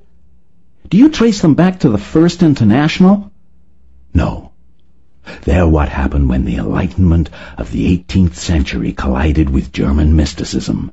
The correct name for the organization is Ancient Illuminated Seers of Bavaria. According to their own traditions, they were founded or revived in 1776 on May 1st by a man named Adam Weishaupt. Weishaupt was an unfrocked Jesuit and a Mason. He taught that religious and national governments had to be overthrown and the world ruled by an elite of scientifically minded materialistic atheists to be held in trust for the masses of mankind who would eventually rule themselves when enlightenment became universal. But this was only Weishaupt's outer doctrine. There was also an inner doctrine, which was that power is an end in itself, and that Weishaupt and his closest followers would make use of the new knowledge being developed by scientists and engineers to seize control of the world. Back in 1776, things were run largely by the church and the feudal nobility, with the capitalists slowly getting a bigger and bigger piece of the pie. Weishaupt declared that these groups were obsolete, and it was time for an elite with a monopoly on scientific and technological knowledge to seize power, instead of producing a democratic society as the outer doctrine promised. The ancient illuminated seers of Bavaria would saddle mankind with a dictatorship that would last forever. Well, it would be logical enough that someone around that time would think of that. Sir George. And who more likely than a Mason who was an unfrocked Jesuit? You recognize that what I tell you is relatively plausible, said Hagbard. That's a good sign. A sign that it's plausible? laughed George. No. A sign that you're the kind of person I'm always looking for. Another thing this explains, George said, is why Orthodox Marxism-Leninism, in spite of all its ideals, always turned out to be not worth a shit why it's always betrayed the people wherever it established itself. And it explains why there's such an inevitable quality about America's drift toward totalitarianism. Right, said Hagbard. America is the target now. The world will then be much as Orwell predicted in 1984. They bumped him off after it was published, you know. The book hit a little too close to home. He was obviously onto them. The references to inner and outer parties with different teachings, O'Brien's speech about power being an end in itself. And they got him. Orwell, you see, ran across them in Spain, where they were functioning quite openly at one point during the Civil War. But artists also arrive at the truth through their imaginations, if they let themselves wander freely. They're more likely to arrive at the truth the more scientific-minded people. You've just tied 200 years of world history up in a theory that would make me feel I should have myself committed if I accepted it, said George. But I'm drawn to it, I admit. Partly intuitively, I feel you're a person who's essentially sane, not paranoid. Partly because the orthodox version of history that I was taught in school never made sense to me, and I know how people can twist history to suit their beliefs, and therefore I assume that the history I've learned is twisted partly because of the very wildness of the idea. If I learn one thing in the last few years, it's that the crazier an idea is, the more likely it is to be true. I think that what you've been telling me is the truth, or a version of it. I don't know whether to trust you completely, but I've got my sign. If the Bavarian Illuminati don't exist, something does. So then, where do we go from here? Hagbard smiled. Spoken like a true homo neophilus, George. Welcome to the tribe. We want to recruit you because you're so gullible. That is, gullible in the right way. You're skeptical about conventional wisdom but attracted to unorthodox ideas, an unfailing mark of a homo neophilus. The human race is not divided into the irrational and the rational, as some idealists think. All humans are irrational. But there are two different kinds of irrationality. Those who love old ideas and hate and fear new ones, and those who despise old ideas and joyfully embrace new ones. Homo neophobus and Homo neophilus. Neophobus is the original human stock, the stock that hardly changed at all for the first four million years of human history. Neophilus is the creative mutation that has been popping up at regular intervals during the past million years, giving the race little forward pushes, the kind you give a wheel to make it spin faster and faster. Neophilus makes a lot of mistakes, but he or she moves. They live life the way it should be lived. 99% mistakes and 1% viable mutations. Everyone in my organization is Neophilus, George. That's why we're so far ahead of the rest of the human race. Concentrated Neophilus influences without any neophobe dilution. We make a million mistakes, but we move so fast that none of them catch up with us. Before you get any deeper, George, I'd like you to become one of us. Which means what? Become a legionnaire in the Legion of Dynamic Discord. George laughed. Oh, that sounds like a gas, but it's hard to believe that an organization with an absurd name like that could build anything as serious as this submarine or work for such a serious end as foiling the ancient illuminated seers of Bavaria. Hagbard shook his head. What's serious about a yellow submarine? It's right out of a rock song. And everybody knows people who worry about the Bavarian Illuminati are crackpots. Will you join the Legion in whatever spirit you choose? Certainly. said George promptly. Hagbard clapped him on the back. Ah, you're our type, all right. Good. Back through the door you came then. Turn right, and through the golden door. Is there someone lifting a lamp beside it? There are no honest men on this voyage. Get along with you now. Hagbard's full lips curled in a leer. You're in for a treat. Behind the golden door stood the lovely black receptionist. She had changed into a short red leather skirt that left all of her long legs in view. Her hands rested lightly on her white plastic belt. Hi, Stella. Sir George. Is that your name? Is it really Stella Maris? Sure. No honest man on this voyage is right. Hagbard was talking to me telepathically. He told me your name.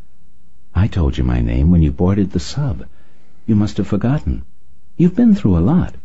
And sad to say, you'll be going through a lot more. I must ask you to remove your clothing. The history of the world is the history of the warfare between secret societies. Ishmael Reed, Mumbo Jumbo. It was the year when they finally immanentized the eschaton. On April the 1st, the world's great powers came closer to nuclear war than ever before, all because of an obscure island named Fernando Poo. By the time international affairs returned to their normal Cold War level, some wits were calling it the most tasteless April Fool's joke in history. I happen to know all the details about what happened, but I have no idea how to recount them in a manner that will make sense to most readers. For instance, I'm not even sure who I am, and my embarrassment on that matter makes me wonder if you will believe anything I reveal. Worse yet, I am at the moment very conscious of a squirrel in Central Park, just off 68th Street in New York City, that is leaping from one tree to another. And I think that happens on the night of April the 23rd, or is it the morning of April the 24th? But fitting the squirrel together with Fernando Poo is, for the present, beyond my powers. I beg your tolerance. There is nothing I can do to make things any easier for any of us. And you will have to accept being addressed by a disembodied voice, just as I accept the compulsion to speak out, even though I am painfully aware that I am talking to an invisible, perhaps non-existent audience. Wise men have regarded the earth as a tragedy, a farce, even an illusionist's trick.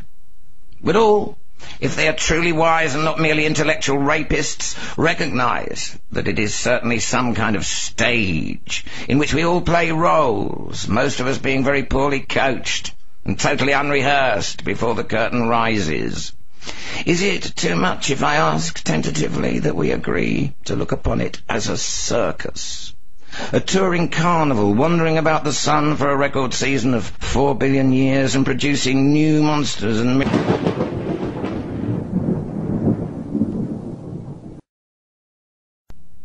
The first reports of the annihilation camps were passed on to the OSS by a Swiss businessman, evaluated as being one of the most trustworthy informants on affairs in Nazi Europe.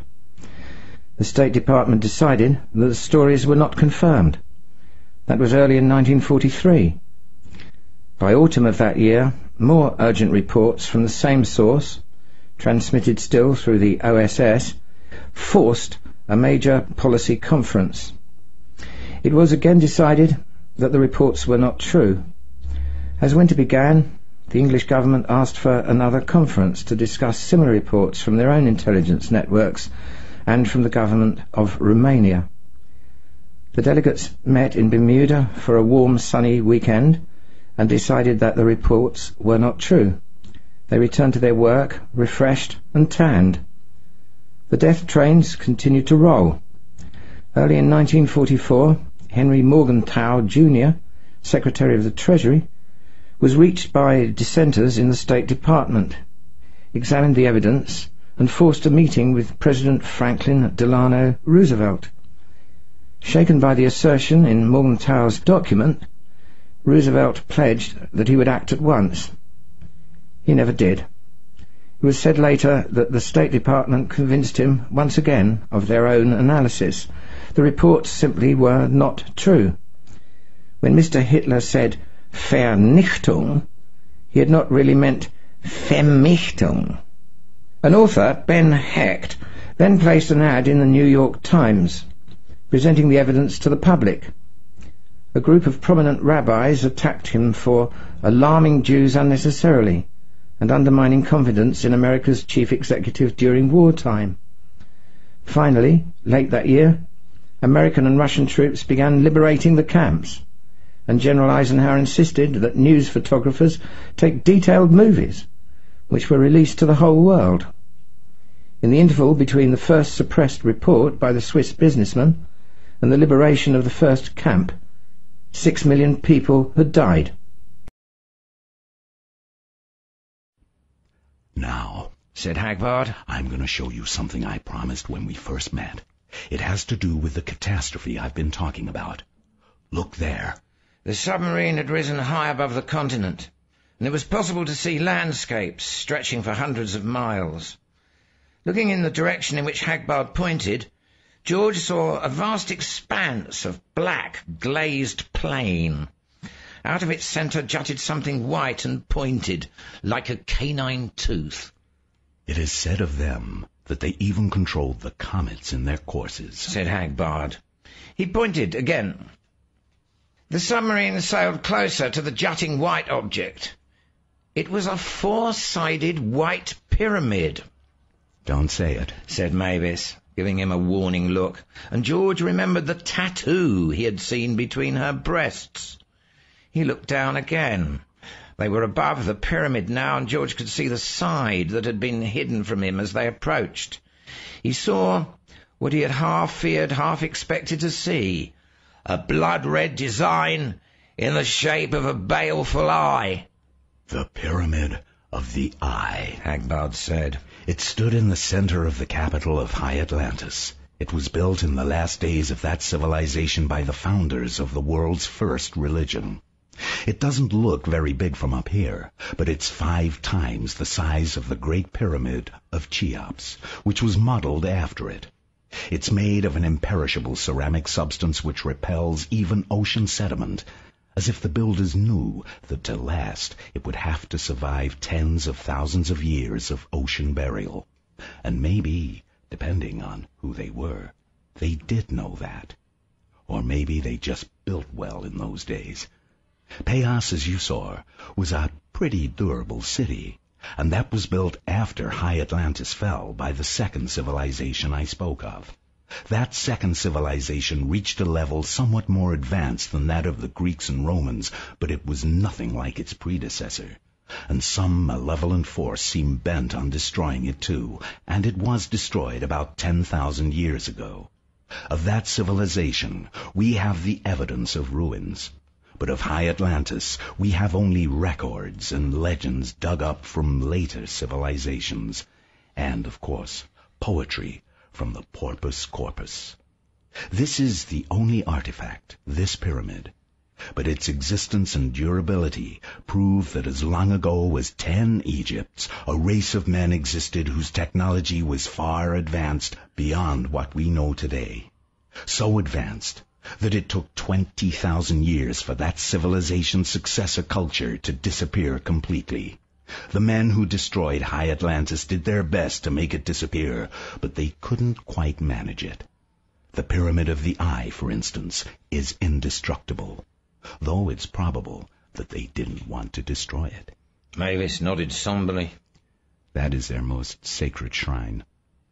In other words, said George, you're telling me that the people who destroyed Atlantis still exist.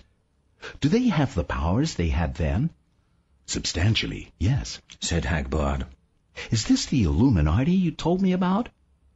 Illuminati, or Ancient Illuminated Seers of Bavaria, is one of the names they have used, yes. So they didn't start in 1776. They go a long way back before that, right? Right, said Mavis. Then why did you lie to me about their history? And why the hell haven't they taken over the world by now, if they're all that powerful? When our ancestors were savages, they could have dominated them completely. Hagbard replied, I lied to you, because the human mind can only accept a little of the truth at a time. Also, initiation into Discordianism has stages. The answer to the other question is complicated, but I'll try to give it to you simply. There are five reasons. First, there are organizations like the Discordians which are almost as powerful and which know almost as much as the Illuminati and which are able to thwart them. Second, the Illuminati are too small a group to enjoy the creative cross-fertilization necessary to progress of any kind and they have been unable to advance much beyond the technological level they reached 30,000 years ago. Like Chinese mandarins. Third, the Illuminati are hamstrung in their actions by the superstitious beliefs that set them apart from other Atlanteans. As I told you, they're the world's first religion. Fourth, the Illuminati are too sophisticated, ruthless, and decadent to want to take over the world. It amuses them to play with the world. Fifth, the Illuminati do rule the world, and everything that happens, happens by their sufferance. Those reasons contradict each other, said George. That's the nature of logical thought. All propositions are true in some sense, false in some sense, and meaningless in some sense. Hagbard didn't smile.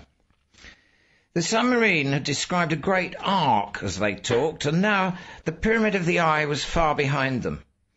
The eye itself, since it faced eastward, was no longer visible. Below, George could see the ruins of several small cities at the edge of tall cliffs that fell away into darker depths. Cliffs that, doubtless, had been the seacoast of Atlantis at one time. Hagbard said, I've got a job for you, George. You're going to like it, and you're going to want to do it but it's gonna make you shit a brick. We'll talk about it when we get to Chesapeake Base. Now, though, let's go down into the hold and have a look at our acquisitions. He flicked a switch. Fuck up. Get your finger out of your ass and drive this thing for a while. I'll see the statues later, said Mavis. I've got other things to do just now. George followed Hagbard down carpeted staircases and halls panelled in glowing polished oak. At last they came to a large hall which was apparently paved with marble flagstones. A group of men and women wearing horizontally striped nautical shirts similar to Hagbard's were clustered around four tall statues in the centre of the room. When Hagbard entered the room, they stopped talking and stepped away to give him a clear look at the sculptures. The floor was covered with puddles of water and the statues themselves were dripping. No wiping them dry, Hagbard said. Every molecule is precious just as it is, and the less disturbed the better. He stepped closer to the nearest one and looked at it for a long moment. What do you say about a thing like this? It's beyond exquisite. Can you imagine what their art was like before the disaster? And to think the unbroken circle destroyed every trace of it, except for that crude, stupid pyramid. Which is the greatest piece of ceramic technology in the history of the human race. Said one of the women. George looked around for Stella Maris, but she wasn't there. Where's Stella? He asked Hagbard. Upstairs, minding the store. She'll see them later. The sculptures were unlike the work of any culture George knew, which was to be expected after all. They were at once realistic, fanciful, and abstractly intellectual. They bore resemblance to Egyptian and Mayan, classical Greek, Chinese and Gothic, combined with a surprisingly modern-looking note. There were some qualities in the statues that were totally unique, though qualities doubtless lost by the civilizations to which Atlantis was ancestral, but that might have been found in known world art had there been other civilizations to preserve and emphasize them. This, George realized, was the Ur art. And looking at the statues was like hearing a sentence in the first language spoken by men. An elderly sailor, pointing at the statue farthest from where they were standing, Look at that beatific smile. A woman thought of that statue, I bet. That's every woman's dream, to be totally self-sufficient. Some of the time, Joshua, said the Oriental woman who hadn't spoken before. but not all of the time. Now, what I prefer is that. She pointed to another statue. Hagbard laughed.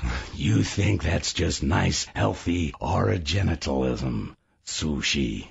But the child in the woman's arms is the son without a father, the self-begotten, and the couple at the base represent the unbroken circle of Gruad. Usually it's a serpent with its tail in its mouth, but in some of the earlier representations, the couple in oral intercourse symbolizes sterile lust. The unloved mother has her foot on the man's head to indicate that she conquers lust. The whole sculpture is the product of the foulest cult to come out of Atlantis. They originated human sacrifice. First, they practiced castration, but then they escalated to killing men instead of just cutting off their balls. Later, when women were subjugated, the sacrifice became a virgin female, supposedly to give her to the unloved ones while she was still pure. That halo around the child's head looks like the peace symbol. said George. Peace symbol, my ass. Said Hagbard. That's the oldest symbol of evil there is. Of course, in the cult of the unbroken circle, it was a symbol of good, but that's the same difference. They can't have been so vicious if they produced that statue. said the Oriental woman stubbornly. Could you deduce the Spanish Inquisition from the painting of the manger at Bethlehem? said Hagbard. Don't be naive, Miss Mao. He turned to George. The value of any one of these statues is beyond calculation, but not many people know that. I'm sending you to one who does. Robert Putney Drake. One of the finest art connoisseurs in the world and the head of the American branch of the World Crime Syndicate. You're going to see him with a gift from me. These four statues. The Illuminati were planning to buy his support with gold from the Temple of Tethys. I'm gonna get to him first. If they only needed four statues, why were they trying to raise the whole temple? George asked. I think they wanted to remove the temple to Agharti, their stronghold under the Himalayas for safekeeping. I haven't been any closer to the Temple of Tethys than we were today, but I suspect it's a treasure house of evidence of High Atlantis. As such, it would be something the Illuminati would want to remove. Until now, there was no reason to, because no one had access to the sea bottom other than the Illuminati. Now I can get around down here just as well, better in fact than they can, and pretty soon others will be following. Several nations and many groups of private persons are exploring the undersea world. It's time for the Illuminati to finish taking away whatever tells of High Atlantis. Will they destroy that city we saw? And what about the Pyramid of the Eye? Hagbard shook his head. They'd be willing to let later Atlantean ruins to be found. That wouldn't say anything about their existence. As for the Pyramid of the Eye, I suspect they have a real problem with that. They can't destroy it, and even if they could, they wouldn't want to. But it's a dead giveaway to the existence of a super civilization in the past. Well, said George, not at all wanting to meet the head of the American crime syndicate. What we ought to do is go back and raise the Temple of Tethys ourselves, before the Illuminati grab it. Good grief, said Miss Mao. This happens to be the most critical moment in the history of this civilization. We don't have time to fiddle fuck around with archaeology. He's just a legionnaire, said Hagbard. Though after this mission, he'll know the fairest and become a deacon. He'll understand more then. George, I want you to act as a go-between for the Discordian movement and the Syndicate. You're going to bring these four statues to Robert Putney Drake and tell him there are more where they came from. Ask Drake to stop working for the Illuminati, to take the heat off our people, wherever he's after them, and to drop the assassination project the Illuminati have been working on with him. And as an earnest of good faith, he's to snuff 24 Illuminati agents for us in the next 24 hours. Their names will be contained in a sealed envelope. Atlantis also bothered Joe. After he saw it the first time, Hagbard took him for a ride in the Leif Erikson. It was all too pat, too plausible, too good to be true, especially the ruins of cities like Peos, their architecture that obviously combined Egyptian and Mayan elements. Science has been flying on instruments like a pilot in a fog ever since 1900, he said, casually to Hagbard on the return trip to New York. This was in 72, according to his later recollections, fall of 72, almost two years after the test of Aum in Chicago. You've been reading Bucky Fuller, was Hagbard's cool reply. Or was it Korzybski? Never mind who I'm reading, Joe said directly. The thought in my head is that I never saw Atlantis any more than I ever saw Marilyn Monroe. I saw moving pictures which you told me were television reception of cameras outside your sub. And I saw moving pictures of what Hollywood assured me was a real woman, even though she looked more like a design by Petty or Vargas. In the Marilyn Monroe case, it's reasonable to believe what I'm told. I don't believe a robot that good has been built yet. But Atlantis, I know special effects men who could build a city like that on a tabletop and have dinosaurs walking through it, and your camera's trained on it. You suspect me of trickery? Hagbard asked, raising his eyebrows. Trickery is your métier, Joe said bluntly. You're the Beethoven, the Rockefeller, the Michelangelo of deception, the Shakespeare of the gypsy switch, the two-headed nickel and the rabbit in the hat. What little liver pills are to Carter, lies are to you. You dwell in a world of trapdoors, sliding panels, and Hindu rope tricks. Do I suspect you? Since I met you, I suspect everybody. Glad to hear it. Hagbard grinned. You're well on your way to paranoia. Take this card and keep it in your wallet. When you begin to understand it, you'll be ready for your next promotion. Just remember, it's not true unless it makes you laugh. That is the one and sole and infallible test of all ideas that will ever be presented to you. And he handed Joe a card saying, There is no friend anywhere. You can call me Doc Iggy. My full name at present is Dr. Ignotum P. Ignotius. The P stands for per. If you're a Latinist, you'll realize that translates as the unknown explained by the still more unknown. I think it's a quite appropriate name for my function tonight, since Simon brought you here to be illuminized. My slave name, before I was turned on myself, is totally immaterial. As far as I'm concerned, your slave name is equally pointless, and I'll call you by the password of the Norton Cabal, which Simon used at the door. Until morning, when the drug starts wearing off, you are you, Waskel Wabbit. That's you, the initial, not Y-O-U, by the way. We accept Bugs Bunny as an exemplar of Mummu here, too. But otherwise we have little in common with the SSS.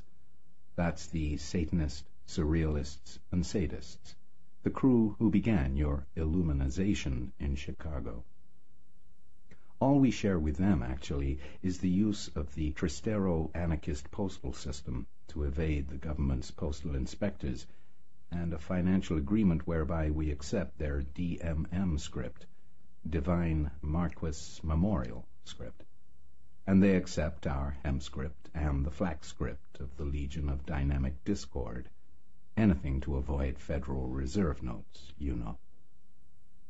It'll be a while before the acid starts working, so I'll just chat like this about things that are more or less trivial, or quadrivial, or maybe pentivial, until I can see that you're ready for more serious matters. Simon's in the chapel with a woman named Stella, who you'll really dig, getting things ready for the ceremony. You might wonder why we're called the Norton Cabal. The name was chosen by my predecessor, Malaclypse the Younger, before he left us to join the more esoteric group known as ELF, the Erisian Liberation Front. They're the Occidental branch of the Hung Mung Tong Kong, and all their efforts go into a long-range anti-Illuminati project known only as Operation Mindfuck. But that's another very complicated story. One of Malaclypse's last writings before he went into silence was a short paragraph saying, Everybody understands Mickey Mouse. Few understand Hermann Hesse. Hardly anyone understands Albert Einstein. And nobody understands Emperor Norton. I guess Malaclypse was already into the mindfuck mystique when he wrote that. Who was Emperor Norton? Joe asks wondering if the drug is beginning to work already, or Dr. Ignotius just has a tendency to speak more slowly than most people. Joshua Norton, Emperor of the United States and Protector of Mexico. San Francisco is proud of him. He lived in the last century and got to be emperor by proclaiming himself as such. For some mysterious reason, the newspapers decided to humor him and printed his proclamations. When he started issuing his own money, the local banks went along with the joke and accepted it on par with U.S. currency. When the vigilantes got into a lynching mood one night and decided to go down to Chinatown and kill some Chinese, Emperor Norton stopped them just by standing in the street with his eyes closed, reciting the Lord's Prayer. Are you beginning to understand Emperor Norton a little, Mr. Wabbit? A little, Joe said. A little. Well, chew on this for a while, friend. There were two very sane and rational anarchists who lived about the same time as Emperor Norton across the country in Massachusetts, William Greene and Lysander Spooner. They also realized the value of having competing currencies instead of one uniform state currency, and they tried logical arguments, empirical demonstrations, and legal suits to get this idea accepted. They accomplished nothing the government broke its own laws to find ways to suppress Greene's Mutual Bank and Spooner's People's Bank. That's because they were obviously sane, and their currency did pose a real threat to the monopoly of the Illuminati. But Emperor Norton was so crazy that people humored him, and his currency was allowed to circulate. Think about it. you might begin to understand why Bugs Bunny is our symbol and why our currency has the ridiculous name Hempscrip. Hagbard Celine and his Discordians, even more absurdly, call their money flax scrip. That commemorates the Zen master who was asked, What is the Buddha? and replied, Five pounds of flax. Why are you staring like that? Am I changing colors or growing bigger or something? Good. The acid is starting to work. Now, we can really get to the nitty-gritty.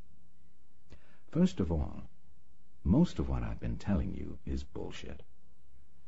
The Illuminati have no millennia-old history. Neither do the Jams. They invented their great heritage and tradition, Jacques de Molay and Charlemagne and all of it, out of whole cloth in 1776, picking up all sorts of out-of-context history to make it seem plausible. We've done the same. You might wonder why we copy them, and even deceive our own recruits about this. Well, part of illumination, and we've got to be illuminized ourselves to fight them, is in learning to doubt everything. That's why Hagbard has that painting in his stateroom saying, Think for yourself, schmuck, and why Hassan-i Sabbah said, Nothing is true. You've got to learn to doubt us, too, and everything we tell you. There are no honest men on this voyage. In fact, maybe this part is the only lie I've told you all evening and the Illuminati history before 1776 really is true and not an invention. Or maybe we're just a front for the Illuminati to recruit you indirectly. Feeling paranoid? Good. Illumination is on the other side of absolute terror and the only terror that is truly absolute is the horror of realizing that you can't believe anything you've ever been told. You have to realize fully that you are a stranger and afraid in a world you never made. Like Haussmann says, Twenty-two big rhinoceroses, twenty-three big rhinoceroses, the Illuminati basically were structure freaks. Hence their hang-up on symbols of geometric law and architectural permanence, ELF, had no symbol, and when asked for one by new recruits, replied loftily that their symbol could not be pictured since it was a circle whose circumference was everywhere, and its center nowhere. They were the most far-out group of all, and only the most advanced Discordians could begin to understand their gibberish. This, he said dramatically, is the sacred cow. That's a symbol of technocracy, Joe said, giggling. Well, Dr. Ignotius smiled. At least you're original. Nine out of ten new members mistake it for the Chinese yin-yang, or the astrological symbol of Cancer. It's similar to both of them, symbol of Mummu, god of chaos. On the right, O nobly born, you will see the image of your female and intuitive nature, called yin by the Chinese. The yin contains an apple, which is the golden apple of Eris, the forbidden apple of Eve, and the apple which used to disappear from the stage of the Flatbush Burlesque House in Brooklyn when Linda LaRue did the split on top of it at the climax of her striptease. It represents the erotic, libidinal, anarchistic, and subjective values worshipped by Hagbard Celine and our friends in the Legion of Dynamic Discord. Now, O nobly born, as you prepare for total awakening, turn your eyes to the left, yang side of the sacred cow. This is the image of your male, rationalistic ego. It contains the pentagon of the Illuminati, the Satanists, and the U.S. Army. It represents the anal, authoritarian, structural, law and order values which the Illuminati have imposed through their puppet governments on most of the peoples of the world. This is what you must understand, O newborn Buddha. Neither side is complete or true or real. Each is an abstraction a fallacy.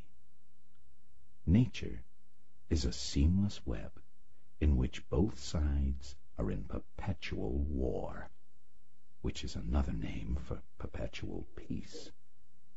The equation always balances. Increase one side, and the other side increases by itself. Every homosexual is a latent heterosexual. Every authoritarian cop is the shell over an anarchistic libido. There is no Vernichtung, no final solution, no pot of gold at the end of the rainbow. And you are not Saul Goodman when you're lost out here. Listen. The chaos you experience under LSD is not an illusion. The orderly world you imagine you experience under the artificial and poisonous diet which the Illuminati have forced on all civilized nations is the real illusion. I'm not saying what you are hearing. The only good Fnord is a dead Fnord.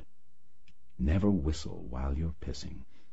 An obscure but highly significant contribution to sociology and epistemology occurs in Malignovsky's study Retroactive Reality, printed in Wieczny Kwiat Wtazda, the journal of the Polish Orthopsychiatric Society, for autumn 1959.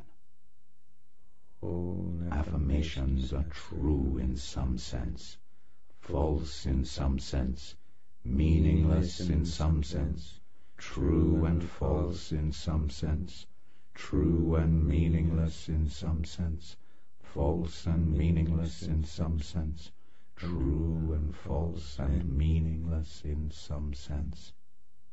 Do you follow me? In some sense. Joe mutters. Only Marxists. Dr. Riggy concluded, opening the door to usher Joe into the chapel room. Still believe in an objective history. Marxists and a few disciples of Ayn Rand. Young took the parchment from Drake and stared at it. It's not to be signed in blood. What the hell is this yin-yang symbol with the pentagon and the apple? You're a fucking fake. His lips curled tightly in against his teeth. What do you mean? said George through a throat that was rapidly closing up. I mean, you're not from the goddamn Illuminati, said Young. Who the hell are you? Didn't you know that before I came here? That I'm not from the Illuminati? said George. I'm not trying to fake anybody out. Honest, really. I thought you knew the people who sent me. I never said I was from the Illuminati. Maldonado nodded, a slight smile bringing his face to life. I know who he is.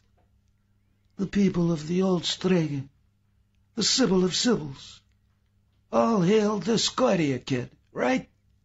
Hail Eris, said George with a slight feeling of relief. Drake frowned. Well, we seem to be at cross purposes. We were contacted by mail, then by telephone, then by messenger, by parties who made it quite clear that they knew all about our business with the Illuminati. Now, to the best of my knowledge, perhaps Don Frederico knows better, there is only one organization in the world that knows anything about the AISB. and that is the AISB itself. George could tell he was lying. Maldonado raised a warning hand. Wait! Up, everybody! To the bathroom! Drake sighed. Oh, Don Frederico, you and your tired notions of security. If my house isn't safe, we're all dead men as of this moment. And if the AISB is as good as it's said to be, an old trick like running water will be no obstacle to them. Let's conduct this discussion like civilized men, for God's sake, and not huddled around my shower stall. There are times when dignity is suicide, said Maldonado. He shrugged. But I yield. I'll settle the question with you in hell if you're wrong. I'm still in the dark, said Richard Young. I don't know who this guy is or where he's from. Look, Chinaman, said Maldonado. You know who the ancient illuminated seers of Bavaria are, right? Well, every organization has opposition, right? So do the Illuminati. Opposition that's like them. Religious, magical, spooky stuff. Not simply interested in becoming rich, as is our gentlemanly aim in life. Playing supernatural games. Capiche? Young looked skeptical. You could be describing the Communist Party, the CIA, or the Vatican. Superficial, said Maldonado scornfully. And upstarts compared with the AISB. Because the Bavarian Illuminati aren't Bavarians, you understand. There's just a recent name and manifestation for their order. Both the Illuminati and their opposition, which this guy represents, go back a long ways before Moscow, Washington, or Rome. A little imagination is called for to understand this, Chinaman. If the Illuminati are Yang, George said helpfully, we're Yin. The only solution is a Yin revolution, dig? I'm a graduate of Harvard Law School, said Young loftily, and I do not dig it. What are you, a bunch of hippies? We never made a deal with your bunch before, said Maldonado. They never had enough to offer us. Robert Putney Drake said, Yes, but you'd like to, though, Don Frederico. Haven't you had a bellyful of the others? I know I have. I know where you're from now, George. And you people have been making giant strides in recent decades. I'm not surprised that you're able to tempt us. It's worth our lives, and we are supposedly the most secure men in the United States, to betray the Illuminati. But I understand you offer us statues from Atlantis. By now they should be uncrated, and that there are more where these came from. Is that right, George? Hagbard had said nothing about that. But George was too worried about his own survival to quibble. Yes, he said. There are more. Drake said. Whether we want to risk our lives by working with your people will depend on what we find when we examine the objet d'art you are offering. Don Frederico, being a highly qualified expert in antiquities, particularly in those antiquities which have been carefully kept outside the ken of conventional archaeological knowledge, will pronounce on the value of what you've brought. As a Sicilian, thoroughly versed in his heritage, Don Frederico is familiar with things Atlantean. The Sicilians are about the only extant people who do know about Atlantis. It is not generally realized that the Sicilians have the oldest continuous civilization on the face of the planet, with all due respects to the Chinese. Drake nodded formally to Young. I consider myself an American, said Young. Though my family knows a thing or two about Tibet that might surprise you. I'm sure, said Drake. Well, you shall advise as you are able. But the Sicilian heritage goes back thousands of years before Rome, as does their knowledge of Atlantis. There were a few things washed up on the shores of North Africa, a few things found by divers. It was enough to establish a tradition. If there were a museum of Atlantean arts, Don Frederico is one of the few people in the world qualified to be a curator. In other words, said Maldonado with a ghastly smile. those statues better be authentic, kid, because I will know if they are not. They are, said George. I saw them picked up off the bottom of the ocean myself. That's impossible, said Young. Let's look. said Drake. He stood up and placed the palm of his hand flat against an oak panel, which immediately slid to one side, revealing a winding metal staircase. Drake leading the way, the four of them descended what seemed to George five stories to a door with a combination lock. Drake opened the door and they passed through a series of other chambers, ending up in a large underground garage. The golden Apple truck was there, and beside it the four statues, freed of their crates. There was no one in the room, Where did everybody go? said Young. They're Sicilians. Said Drake. They saw these and were afraid. They did the job of uncrating them and left. His face and Maldonado's wore a look of awe. Young's craggy features bore an irritated, puzzled frown. I'm beginning to feel that I've been left out of a lot, He said. Later, Said Maldonado. He took a small jeweler's glass out of his pocket and approached the nearest statue. this is where they got the idea for the great god Pan. He said, But you can see the idea was more complicated 20,000 years ago than 2,000. Fixing the jeweler's glass in his eye, he began a careful inspection of a glittering hoof. At the end of an hour, Maldonado, with the help of a ladder, had gone over each of the four statues from bottom to top with fanatical care, and had questioned George about the manner of their seizure, as well as what little he knew of their history. He put his jeweler's glass away, turned to Drake, and nodded. You've got the four most valuable pieces of art in the world. Drake nodded. I surmised as much. Worth more than all the gold in all the Spanish treasure ships there ever were. If I had not been dosed with a hallucinogenic drug, Said Richard Young. I gather you are all saying these statues come from Atlantis. I'll take your word for it that they're solid gold, and that means there's a lot of gold there. The value of the matter is not worth one ten thousandth the value of the form. Said Drake. That I don't see. Said Young. What is the value of Atlantean art if no reputable authority anywhere in the world believes in Atlantis? Maldonado smiled. There are a few people in the world who know that Atlantis existed, and who know there is such a thing as Atlantean art. And believe me, Richard, those few got enough money to make it worth anyone's while who has a piece from the bottom of the sea. Any one of these statues could buy a middle-sized country. Drake clapped his hands with an air of authority. I'm satisfied if Don Frederico is satisfied for these and for four more like them, or the equivalent if four such statues simply don't exist. My hand is joined with the hand of the Discordian movement. Let us go back upstairs and sign the papers, in pen and ink. And then, George, we would like you to be our guest at dinner. George didn't know if he had the authority to promise four more statues, and he was certain that total openness was the only safe approach with these men. As they were climbing the stairs, he said to Drake, who was above him, I wasn't authorized by the man who sent me to promise anything more, and I don't believe he has any more at the moment, unless he has a collection of his own.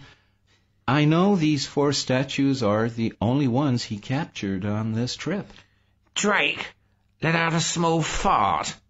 An incredible thing, it seemed to George, for the leader of all organised crime in the United States to do. Excuse me. He said, The exertion of these stairs is too much for me. Would love to put in an elevator, but that wouldn't be as secure. One of these days my heart will give out going up and down those stairs. The fart smelled moderately bad, and George was glad when he had climbed out of its neighbourhood. He was surprised that a man of Drake's importance would acknowledge that he farted. Perhaps that kind of straightforwardness was a factor in Drake's success. George doubted that Maldonado would admit to a fart. The Don was too devious.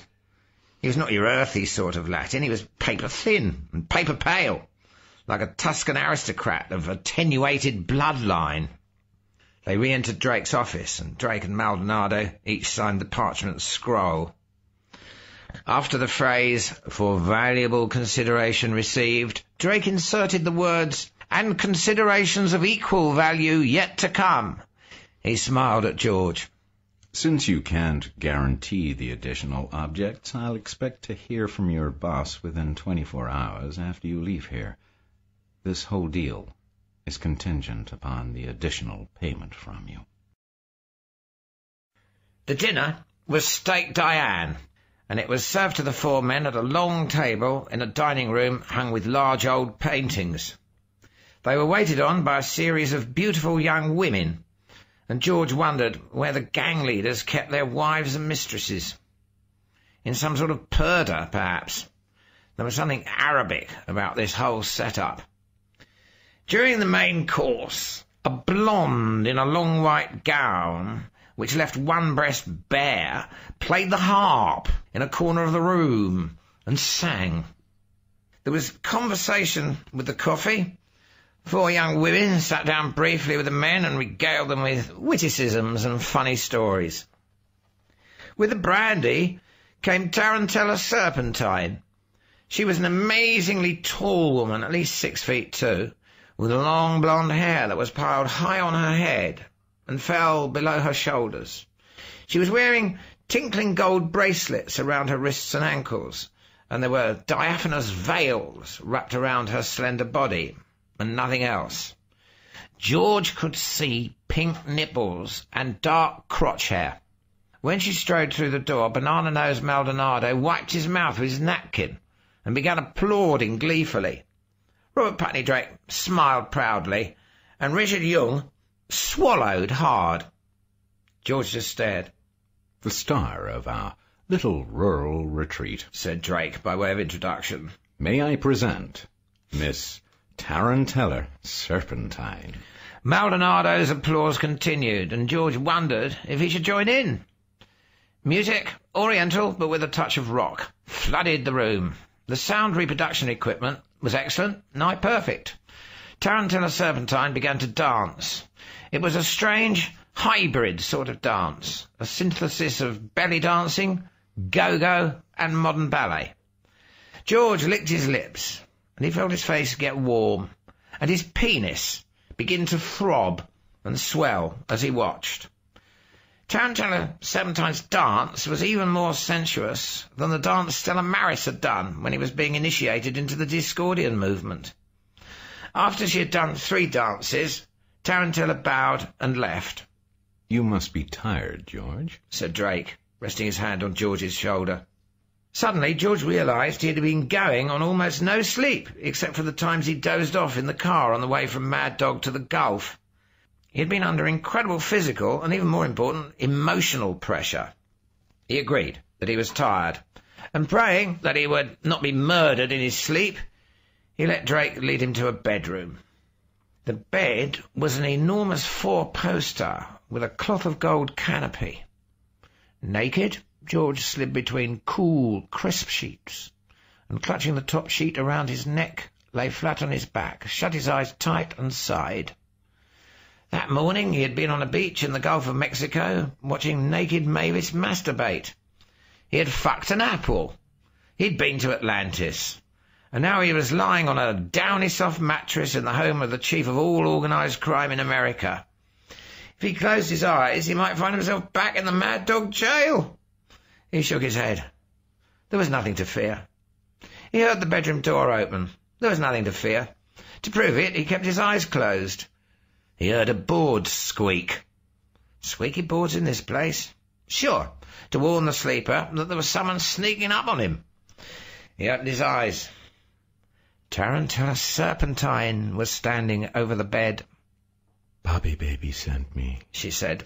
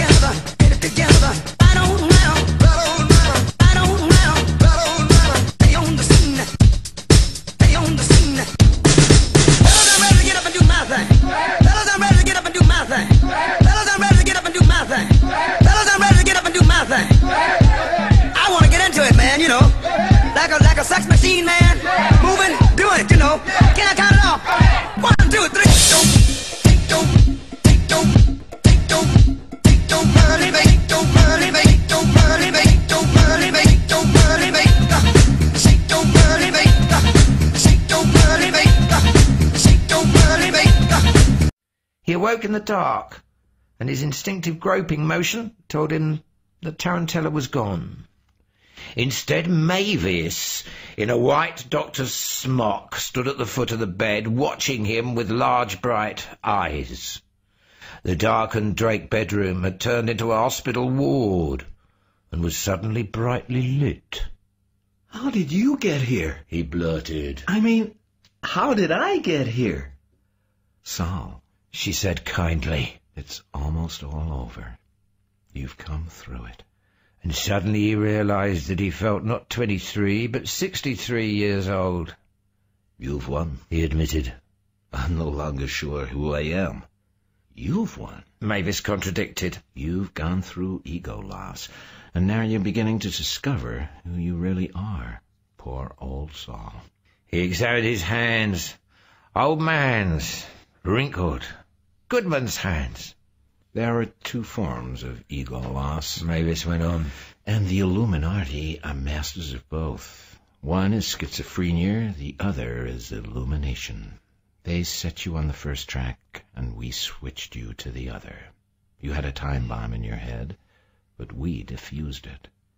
Malik's apartment, the Playboy Club, the submarine, and all the other past lives and lost years. By God, Saul Goodman cried. I've got it. I am Saul Goodman, but I am all the other people too.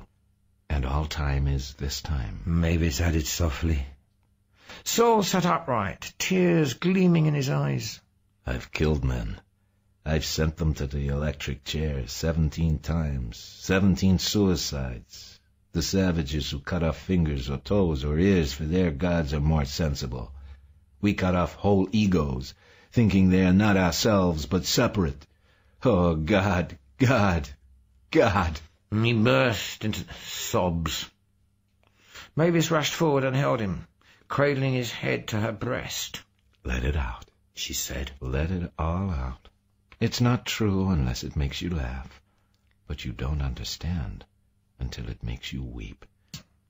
Gruad the Greyface. Saul screamed, weeping, beating his fist against the pillow as Mavis held his head, stroked his hair. Gruad the Damned, and I have been his servant, his puppet, sacrificing myself on his electric altars as burnt offerings. Mavis cooed in his ear. Yes, yes, we must learn to give up our sacrifices, not our joys. They have taught us to give up everything except our sacrifices, and those are what we must give up. We must sacrifice our sacrifices. The Greyface, the life hater, Saul shrieked. The bastard motherfucker! Osiris Quetzalcoatl! I know him under all his aliases. Greyface, Greyface, Greyface. I know his wars and his prisons, the young boys he shafts up the ass, the George Dorns he tries to turn into killers like himself. And I have served him all my life. I have sacrificed men on his bloody pyramid. Let it out. Mavis repeated, holding the old man's trembling body. Let it all out, baby. The funny part Saul said, smiling, while a few tears still flowed. is that I'm not ashamed of this. Two days ago I would have rather died than be seen weeping, especially by a woman. Yes, Mavis said. especially by a woman. That's it, isn't it? Saul gasped. That's their whole gimmick. I couldn't see you without seeing a woman. I couldn't see that editor Jackson without seeing a Negro. I couldn't see anybody without seeing the attached label and classification. That's how they keep us apart. Mavis said gently. And that's how they train us to keep our masks on.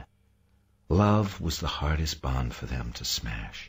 So they had to create patriarchy, male supremacy, and all that crap. And the masculine protest and penis envy in women came in as a result. So even lovers couldn't look at one another without seeing a separate category. Oh my God, my God. Saul moaned, beginning to weep heavily again. A rag, a bone, a hank of hair. Oh my God. And you were with them, he cried suddenly, raising his head. You're a former Illuminatus. That's why you're so important to Hagbard's plan, and that's why you have that tattoo. I was one of the five who run the U.S. Mavis nodded. One of the insiders, as Robert Welch calls them. I've been replaced now by Atlanta Hope, the leader of God's Lightning. I've got it, I've got it, Saul said, laughing. I looked every way but the right way before. He's inside the Pentagon. That's why they built it in that shape, so he couldn't escape. The Aztecs, the Nazis, and now us. Yes, Mavis said grimly. that's why 30,000 Americans disappear every year without trace, and their cases end up in the unsolved files. He has to be fed. A man, though naked, may be in rags. so quoted. Ambrose Bierce knew about it. And Arthur Machen. Mavis added. And Lovecraft. But they had to write in code. Even so, Lovecraft went too far, mentioning the Necronomicon by name. And that's why he died so suddenly when he was only forty-seven. And his literary executor, August Derleth, was persuaded to insert a note in every edition of Lovecraft's works, claiming that the Necronomicon doesn't exist and was just part of Lovecraft's fantasy. Saul asked. And the Dholes, real. Mavis said. All real. That's what causes bad acid trips and schizophrenia. Psychic contact with them when the ego wall breaks. That's where the Illuminati was sending you when we raided their fake Playboy club and short-circuited the process. Du Hexenhasser, Saul quoted. And he began to tremble. Unheimlich. Ur, Vater, whose art's uneven, horrid be thine aim. Harpoons in him, corpus valem, take ye and hate. But on March the 31st, in that year of fruition for all the Illuminati's plans, while the President of the United States went on the air to threaten all-out thermonuclear heck, a young lady named Concepcion Galore lay nude on a bed in the Hotel Durruti in Santa Isabel and said, Isha Lloigor. What's a lloigor? asked her companion, an Englishman named Fission Chips, who had been born on Hiroshima Day and named by a father who cared more for physics than for the humanities. The room was in the luxury suite of the Hotel Durruti, which meant that it was decorated in abominable Spanish Moorish decor. The sheets were changed daily to a less luxurious suite. The cockroaches were minimal, and the plumbing sometimes worked. Concepcion contemplated the bullfight mural on the opposite wall, Manolete turning an elegant Veronica on an unconvincingly drawn bull, and said thoughtfully, Ah, Eloigor is a god of the black people, the natives. A very bad god. Chips glanced at the statue again and said, more to himself than to the peasant girl, Looks vaguely like Tlaloc in Mexico City, crossed with one of those Polynesian Cthulhu tikis. The starry wisdom people are very interested in these statues. Concepcion said, just to be making conversation, since it was obvious that Chips wasn't going to be ready to prong her again for at least another half hour. Indeed. Chips said, equally bored. Who are the starry wisdom people? A church down on Tequila-y-Mota Street, what used to be Lumumba Street and was Franco Street when I was a girl. Funny church. The girl frowned, thinking about them. When I worked in the telegraph office, I was always seeing the telegrams, all in code, and never to another church. Always to banks, all over Europe and North and South America. You don't say. drawled Chips, no longer bored, but trying to sound casual. His code number in British intelligence was, of course, quadruple O five. Why are they interested in these statues? He was thinking that statues properly hollowed out, could transport heroin. He was already sure that Starry Wisdom was a front for bugger. You look like a robot, Joe Malik says in a warped room in a skewered time in San Francisco. I mean, you move and walk like a robot. Hold on to that, Mr. Wabbit, says a bearded young man with a saturnine smile. Some trippers see themselves as robots, others see the guide as a robot. Hold that perspective. Is it a hallucination or is it a recognition of something we usually black out? Wait, Joe says. Part of you is like a robot, but part of you is alive. Like a growing thing, a tree or a plant. The young man continues to smile, his face drifting above his body toward the mandala painted on the ceiling. Well, he asks, do you think that might be a good poetic shorthand? That part of me is mechanical, like a robot, and part of me is organic, like a rose bush? And what's the difference between the mechanical and the organic? Isn't a rose bush a kind of machine used by the DNA code to produce more rose bushes?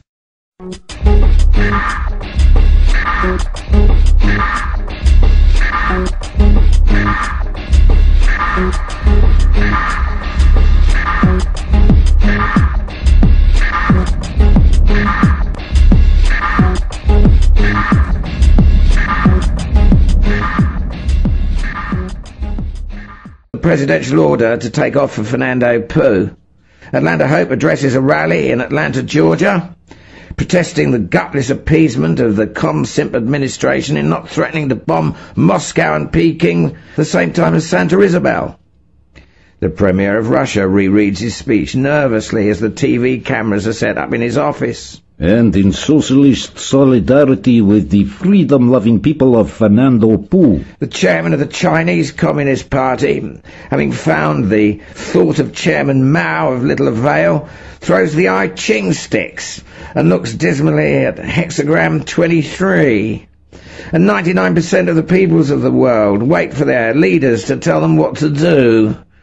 But in Santa Isabel itself, three locked doors across the suite from the now sleeping Concepcion, Fission Chips says angrily into his shortwave, Repeat none. Not one Russian or Chinese anywhere on the bloody island. I don't care what Washington says. I'm telling you what I have seen. Now, about the bugger heroin ring here. Sign off. The submarine tells him. HQ is not interested in bugger or heroin right now. Damn and blast. Chips stares at the shortwave set. That bloody well tore it. He would just have to proceed on his own and show those armchair agents back in London, especially that smug W, how little they actually knew about the real problem in Fernando Poo and the world. Storming, he charged back to the bedroom. I'll just get dressed, he thought furiously, including my smoke bombs and Luger and laser ray, and I'll toddle over to this Starry Wisdom church and see what I can nose out. But when he tore open the bedroom door, he stopped, momentarily stunned. Concepcion still lay in the bed, but she was no longer sleeping. Her throat was neatly cut, and a curious dagger with a flame design on it stuck into the pillow beside her. Damn blast and thunder! cried 00005. Now that absolutely does tear it. Every time I find a good piece of ash, those fuckers from Bugger come along and shaft her. Ten minutes later, the go signal came from the White House. A fleet of SAC bombers headed for Santa Isabel with hydrogen bombs. And Fission Chips, fully dressed, toddled over to the Starry Wisdom Church, where he encountered not bugger, but something on an entirely different plane.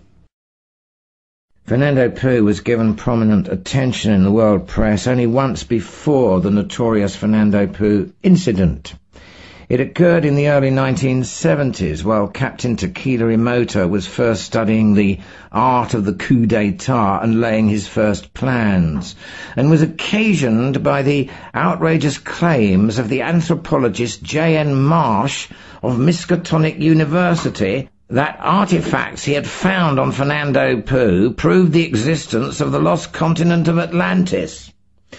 Although Professor Marsh had an impeccable reputation for scholarly caution and scientific rigour before this, his last published book, Atlantis and its Gods, was greeted with mockery and derision by his professional colleagues, especially after his theories were picked up and sensationalized by the press.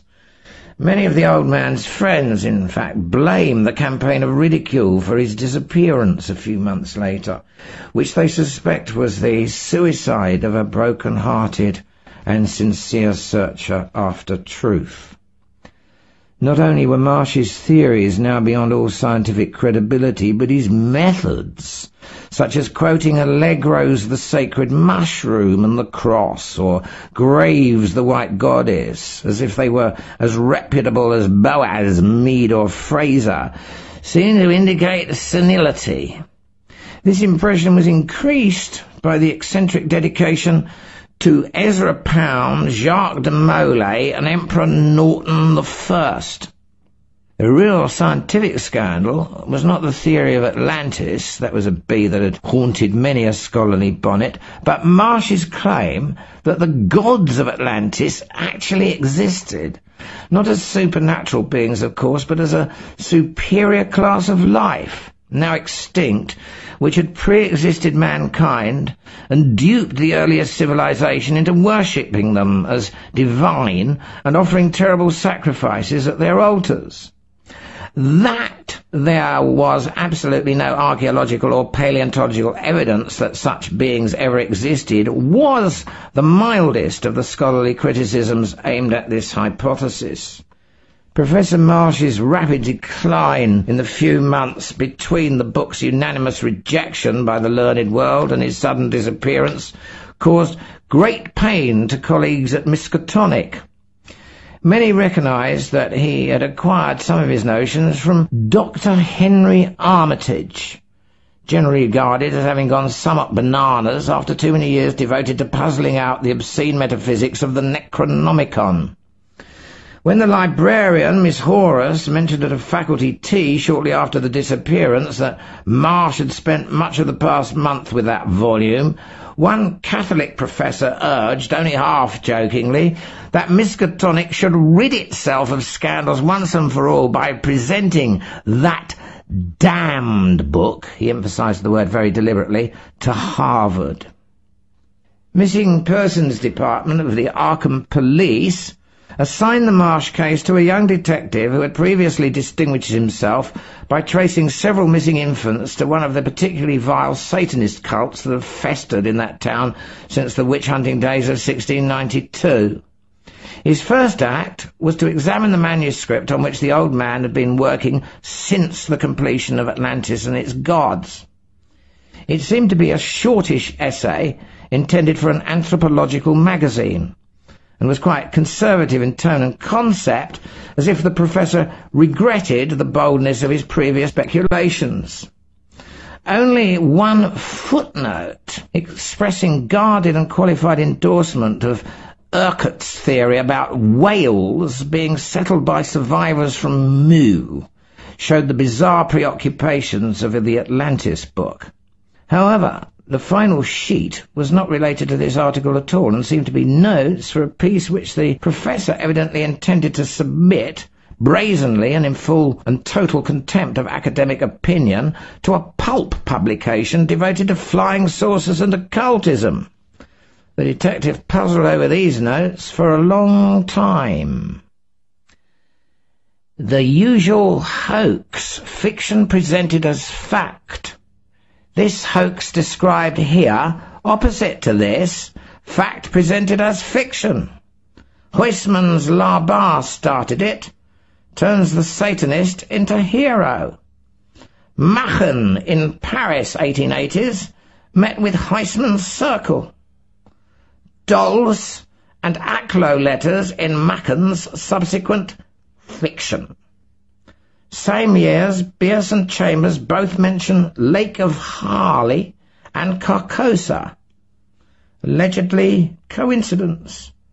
Crowley recruiting his occult circle after 1900. Bierce disappears in 1913. Lovecraft introduces Hali, Dholes, Aklo, Cthulhu after 1923. Lovecraft dies unexpectedly 1937.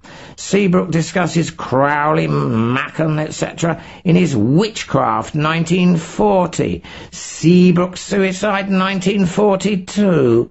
Emphasize Bierce describes Oedipus complex in Death of Halpin Frayser before Freud and relativity in Inhabitant of Carcosa before Einstein. Lovecraft's ambiguous description of Azathoth as blind idiot god, demon sultan, and nuclear chaos, Kierkegaard 1930, 15 years before Hiroshima. Direct drug references in Chambers, King in Yellow, Machen's White Powder, Lovecraft's Beyond the Wall of Sleep and Mountains of Madness. The appetites of the Lloigor or Old Ones in Bierce's Damned Thing, Machen's Black Stone, Lovecraft, constantly. Atlantis, known as Fuel, or Tula both in German and Panama Indian law. And of course coincidence again the accepted explanation. Opening sentence for article. The more frequently one uses the word coincidence to explain bizarre happenings, the more obvious it becomes that one is not seeking, but evading the real explanation. Or shorter, the belief in coincidence is the prevalent superstition of the age of science.